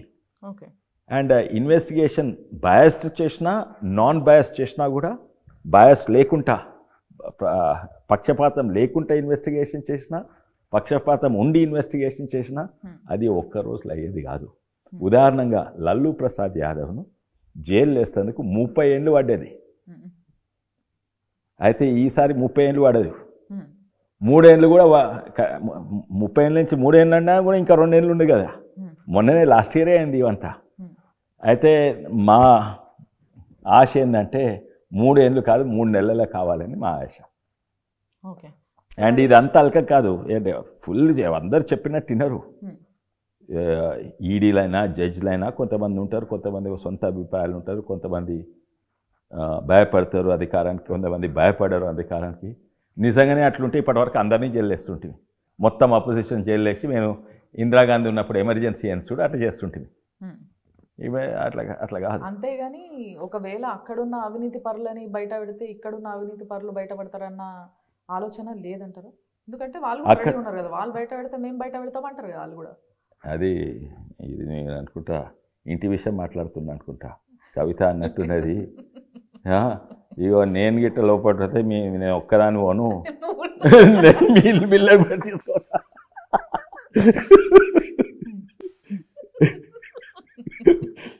అట్లేం లేదు. ఇంటున్న కప్పులు సాసర్లు పగిలినాయి. నన్ను గిట్ట లోపడేస్తే నేను ఒకదాని పోను మిమ్మల్ని కూడా తీసుకోతా అన్నట్టున్నా అంత. అట్లనే సార్ ఆల్మోస్ట్ అట్లే ఉంటుంది కదా సార్. ఇప్పుడు ఇప్పుడున్న పరిస్థితులకు ఇటు స్టేట్ గవర్నమెంట్కి సెంట్రల్ గవర్నమెంట్కి అదే పరిస్థితి నడుస్తుంది. అవును అదే అదే అందుకే ఎస్పెషలీ కాళేశ్వరం మీద మా ఆరోపణ ఉన్నది. ఏంటంటే మళ్ళీ పర్మిషన్లు మీకు మీరే ఇచ్చింది కదా మళ్ళీ ఇప్పుడేమది నాకు తెలుసు నేను ఇంజనీర్ను. పర్మిషన్ దేనికి ఇచ్చినా మామ? మీరు ఈ ప్రాజెక్ట్ రిపోర్టు మా ముంగట పెడితే ఈ ప్రాజెక్ట్ వల్ల ఈ ప్రాజెక్ట్ వల్ల ఇన్ని ఎకరాలు పద్దెనిమిది వేల లక్షల ఎకరాలు పారుతాయి. దీని ఖర్చు గింతుంటుంది ఖర్చు తక్కువ చూపెట్టిండ్రు. అప్పుడు యాభై వేలు అరవై వేలు ఎంతో చూపెట్టిండ్రు. మళ్ళీ మెల్లమెల్ల ఇంక్రీజ్ చేస్తూ ఉన్నారు. Hmm. దానికి అప్పుడు అవును నిజంగానే ప్రజలకు లాభం అవుతుంది. మేమెవరు? కేసీఆర్ మంచి పని చేస్తున్నాను. అని పర్మిషన్ అవును మే మా వాళ్ళు ఇచ్చిండ్రు. అయితే దేనికి ఇచ్చిండ్రు ఆ రిపోర్ట్లు ఏమైనా ఉందో దాని కొరకు ఇచ్చిండ్రు కానీ ఆ రిపోర్ట్లో ఒకటి ఉన్నది చేసింది ఇంకోటి. రిపోర్ట్లు ఏమన్నా ఉన్నది? నేను చెప్పిన కదా వంద రూపాయలు కరెంట్ పెడితే ఓన్లీ ముప్పై రూపాయల కరెంటు పంపింగ్ అవుతుంది మరి బీయింగ్ ఇంజనీర్ మీరు ఈ మాటని ఇప్పుడు క్లియర్గా చెప్తారు కదా అట్లీస్ట్ ఇదన్నా ప్రూవ్ చేయాల్సింది కదా సార్. ప్రూవ్ చేసిన ఇట్ ఇస్ ప్రూవన్ మీరు అవినీతి పరులు కాళేశ్వరంలో ఇంత జరుగుతుంది అని చెప్పేసి ప్రతి ఇట్ ప్రూవెన్ పొందలేస్తున్నారు. ఇట్ ఈస్ ప్రూవెన్ అందుకే వాళ్ళు ఎక్కువ మాట్లాడతలేరు కదా. ఇట్ ఈస్ ప్రూవెన్ నేను కాదు experts have come international experts have come and talked about it and ఒక నిమిషం అండ్ ఈ అబద్ధాలు చెప్పి ఏదో ఇంటర్నేషనల్ డిస్కవరీ ఛానల్ ఈ ఛానల్ ఫోర్బ్స్ మ్యాగజైన్ అంటే అది పెద్ద ఎకనామిక్ ఇది. అయితే వాళ్ళు కూడా ఇప్పుడు దాన్ని తీసేసి దాని నుంచి. వాళ్ళు కూడా ఈ అబద్ధాలు కనుక్కున్నారు. కానీ ఒక్క ఇష్యూ పైన మీరు మీరు కొట్లాడుకుంటే సరిపోదు కదా సార్. జనాలకు న్యాయం జరగాలి కదా అల్టిమేట్గా దానికోసం చర్యలు తీసుకోవాలి కదా సార్? దానికోసం ఇప్పుడు జనాలకు నష్టమే అని ఇందాక మీరు చెప్పారు కాళేశ్వరం ప్రాజెక్టు వల్ల జనాలకు నష్టమే జరిగింది. అవును. సో మీరు మీరు ఒకరికొకరు ఇట్లా దుమ్మెత్తి పోసుకుంటుర్రు. అంతే కదా? మీరు వాళ్ళని ప్రూవ్ చేస్తారు వాళ్ళు మిమ్మల్ని ప్రూవ్ చేస్తామంటారు. ఇదే జరుగుతుంది తప్పితే జనాలకు న్యాయం ఎప్పుడు జరుగుతుంది మరి? జనానికి న్యాయం అంటే వీళ్ళు జైల్లోకి పోతే న్యాయం జరుగుతుంది. కానీ ఈ జరుగుతుంది. జైల్లోకి పోతే న్యాయం జరుగుతుండొచ్చు కానీ పోయిన నష్టంను ఏం చేస్తాం. ఇంట్రెస్ట్ అయితే కట్టాలి కదా మేము. పదమూడు వేల కోట్లు ఏడాది కట్టాలి కదా. అదైతే ఇప్పుడు ఎవరో మర్డర్ చేస్తే ఆ మర్డర్ చేసిన వాళ్ళు ఉరిశిక్ష చేస్తే ఈయనకు అయితే. ప్రాణం అయితే తిరిగి రాదు. కాళేశ్వరం కాళేశ్వరమే ఉండిపోతుంది. కానీ మళ్ళీ ఈసారి కాకుండా చేస్తాము. అవి అవుతాయి తప్పనిసరి అవుతుంది సరి అండ్ మేము మేము దాన్ని సరిదిద్దాలంటే కొంచెం ఏదో చేయాలి. ఈ ప్రాజెక్ట్ను ఎయిటీ నైంటీ పర్సెంట్ మారవాలి. భవిష్యత్ ఎన్నో టూరిజం ప్రాజెక్ట్ చేయాలి. ఆ కరెంటు పంపులు మళ్ళీ ఆన్ చేయొద్దు. ఓన్లీ ఫస్ట్ త్రీ ఫేజెస్ నేను అడిగిన దాని మీద డాక్యుమెంట్ ఉంది. ఈ కాలేజ్ మొత్తం సరిదిద్దుకోలేము. అయిపోయిన నష్టం అయిపోయింది. కానీ దీన్ని ఓన్లీ ఫస్ట్ త్రీ స్టేజెస్ వరకు నడపాలి. తర్వాత రిజర్వాయర్లు ఆ కొండపోచం అనే రిజర్వాయర్ అది అన్వయబుల్ రిజర్వాయర్. అది ఓన్లీ కేసీఆర్ ఫామ్ హౌస్కే సప్లై చేస్తారు. కానీ ఇప్పటి వరకు ఈ కట్టేని ఇనాగ్రేషన్ చేసిండ్రు పెద్ద పేపర్లలో వచ్చింది ఇప్పటి వరకు దాన్ని నింపగలగలేరు. ఎన్ని నాలుగేళ్ళు అయినా నాలుగేళ్ళు అయినా మూడేళ్ళు? నాలుగేళ్ళు ఆర్టీఐ పెడితే ఇప్పటి వరకు దాన్ని నింపగలరు నింపితే లీక్ అవుతా ఉన్నది. లేదు లేదు. ఇప్పుడు చూడండి మీరు ఆర్టీఏ పెట్టింది ఆర్టీఏ ఉన్నది లాస్ట్ ఇయర్ది ఇప్పటి వరకు మ్యాక్సిమం నింపింది సెవెంటీ పర్సెంట్ ఎంతో. అది కూడా సెవెంటీ పర్సెంట్ నింపితే అది ఏం చేసిండ్రు? చుట్టూ గోడ కట్టి మధ్యలో నీళ్ళు వచ్చిండ్రు. ఊర్లలో ట్యాంకులు కడతాం చూడండి. ఏది మన ఒక ట్యాంక్ కట్టాలంటే చుట్టూ గోడ కట్టి మధ్య ఇది అదనమాట. గుట్టల మధ్యలో లోలలో ఒక సైడ్ గోడ కడితే వెనక సైడ్ నీళ్ళు ఉంటాయి అట్లా కాదు ఇది. చుట్టూ గోడ కట్టి మధ్యలో నీళ్ళు వచ్చినాయి. ఈ గోడ హైట్ ఎంత అంటే హండ్రెడ్ ఫీట్. అయితే ఇంట్లో నీళ్ళు పోయంగానే పక్క బోర్ల నుంచి నీళ్ళు వెళ్తూ ఉన్నాయి. లీక్ అవుతుంది. పక్క దాంట్లో పొలం చేసుకో వస్తలేదు. రోడ్లన్నీ ఖరాబ్ అవుతున్నాయి. ఈ కేసీఆర్ అది కేవలం కేసీఆర్ ఫామ్ దూరం ఉన్నది. దానికి పుష్కలంగా నీళ్ళు వస్తున్నాయి. అయితే అదే అదే కాక ఇది లీక్ అయ్యడే కాక ఇంకో ప్రాబ్లం ఇది అనుకుంటున్నా ఎయిత్ స్టేజ్ ఏదో స్టేజ్లో ఉన్నది. ఇక్కడి వరకు నీళ్ళు రావాలంటే కరెంటు లక్ష రూపాయలు ఎకరం వస్తుంది ఆ లక్ష రూపాయలు లక్ష కాదు యాభై వేలని రైతు ఎక్కియండి కేసీఆర్ గారికి ఇవ్వండి ఆయనకు కూడా ఫామ్ ఉన్నది కదా. పాపం కేసీఆర్ గారు ఎందుకు? క్యాప్సికమ్ వండించి ఇది వండించి ఎందుకు చేయాలి? కేసీఆర్కి ఒక లక్ష రూపాయలు? నువ్వు కూడా రైతు కదా. ఓకే సో మరి ఆ, కవితక్క అంటుంది ఏంటి అంటే ఒకవేళ మీరు నన్ను అరెస్ట్ చేస్తే. మీరు తెలంగాణ ఆడబిడ్డల్ని అవమానించినట్టే. అని అంటుంది మరి ఈ ఈ దీన్ని మీరు ఎట్లా తీసుకుంటారు దీని గురించి ఏమంటారు నేనేం ఏమంటారు అది ఇంపార్టెంట్ కానే కాదు ప్రజలు ఏమనుకుంటారో అది ఇంపార్టెంట్ ప్రజలు నేను అనుకుంటా తప్పు. మీరు కూడా అనుకుంటారా తప్పు. ఆమె ఆమె తెలంగాణ మహిళనా లేకుంటే ఒక వాస్తవమే మహిళ అంటే లేకుంటే ఆమె నిందితురాల. నిందితురాలు కూడా మహిళనే? ఒక శుద్ధపూస కూడా మహి- మహిళనే. అయితే ఆమె ఇక్కడ నిందితురాలు. ఆమె కేవలం ఒక తెలంగాణ మహిళ కాదు. ఆమె ఒక నిందితురాలు. నిందితురాలు ఉంటే తప్పనిసరిగా ఆ శిక్ష పడుతుంది ఆమె మీద. అండ్ దాంట్లో తప్పు కాదు. కానీ ఇది నేను అంటున్నా. మీరు ప్రజలను అడగండి. ప్రజలు ఏమంటున్నారు? తన ఓన్ సోషల్ మీడియాలో? ఏమంటుండ్రు తొంభై ఐదో తొంభై తొమ్మిది శాతం అంటుండ్రు అక్క మీరు లిక్కర్ స్కామ్ ఉంటే ఈ తెలంగాణ ప్రజలకి సంబంధం అక్క అని ఆమెను అడుగుతున్నారు. Hmm. అయితే సానుభూతి లేదు. Hmm. ఇంకా ఉల్టా ప్రజలు అడుగుతుండ్రు ఏంటంటే మీరు లిక్కర్ స్కామ్కు మాకు ఏం సంబంధము? మేము తెలంగాణ తెచ్చుకుంది దీని కొరకు. లిక్కర్ స్కామ్ల కొరకు కాదు అని ఫైనలీ సార్ Hmm. మీరు ఇప్పుడు ఈ ఎలక్షన్లల్లో ఎమ్మెల్యేగా నిలబడబోతున్నారా? ఎంపీయా ఏంది? మీ పరిస్థితి ఏంది? నేను ఎంపీగా నిలబడ నిలబడతాను ఎక్కడ? ఏ కాన్స్టిట్యున్సీ అది. ఫస్ట్ అంతే. నేను వచ్చింది మా ప్రాంతం అభివృద్ధి రంజిత్ రెడ్డి గారికి అపోజిషన్ ఎవరు ఉంటారో క్యాండిడేట్ నాకు తెలియదు నెక్స్ట్ టైం మారిపోతారంటారా? ఆ? ఇప్పుడు ఈసారి మళ్ళీ మారిపోతారంటారా? తెలియదు నాకు. టీఆర్ఎస్ పార్టీ కదా. ఓకే. సో యా మీరు మంచి టైం ఇచ్చిండ్రు. చాలా హ్యాపీగా ఓపెన్గా మాట్లాడినందుకు. చాలా thank you sir and. All the best thank you. నమస్తే Ramayya tasty and healthy organic food మేము అందిస్తాం ఆర్డర్ చేసిన తర్వాతే బేకింగ్ రెడీ సంప్రదించండి.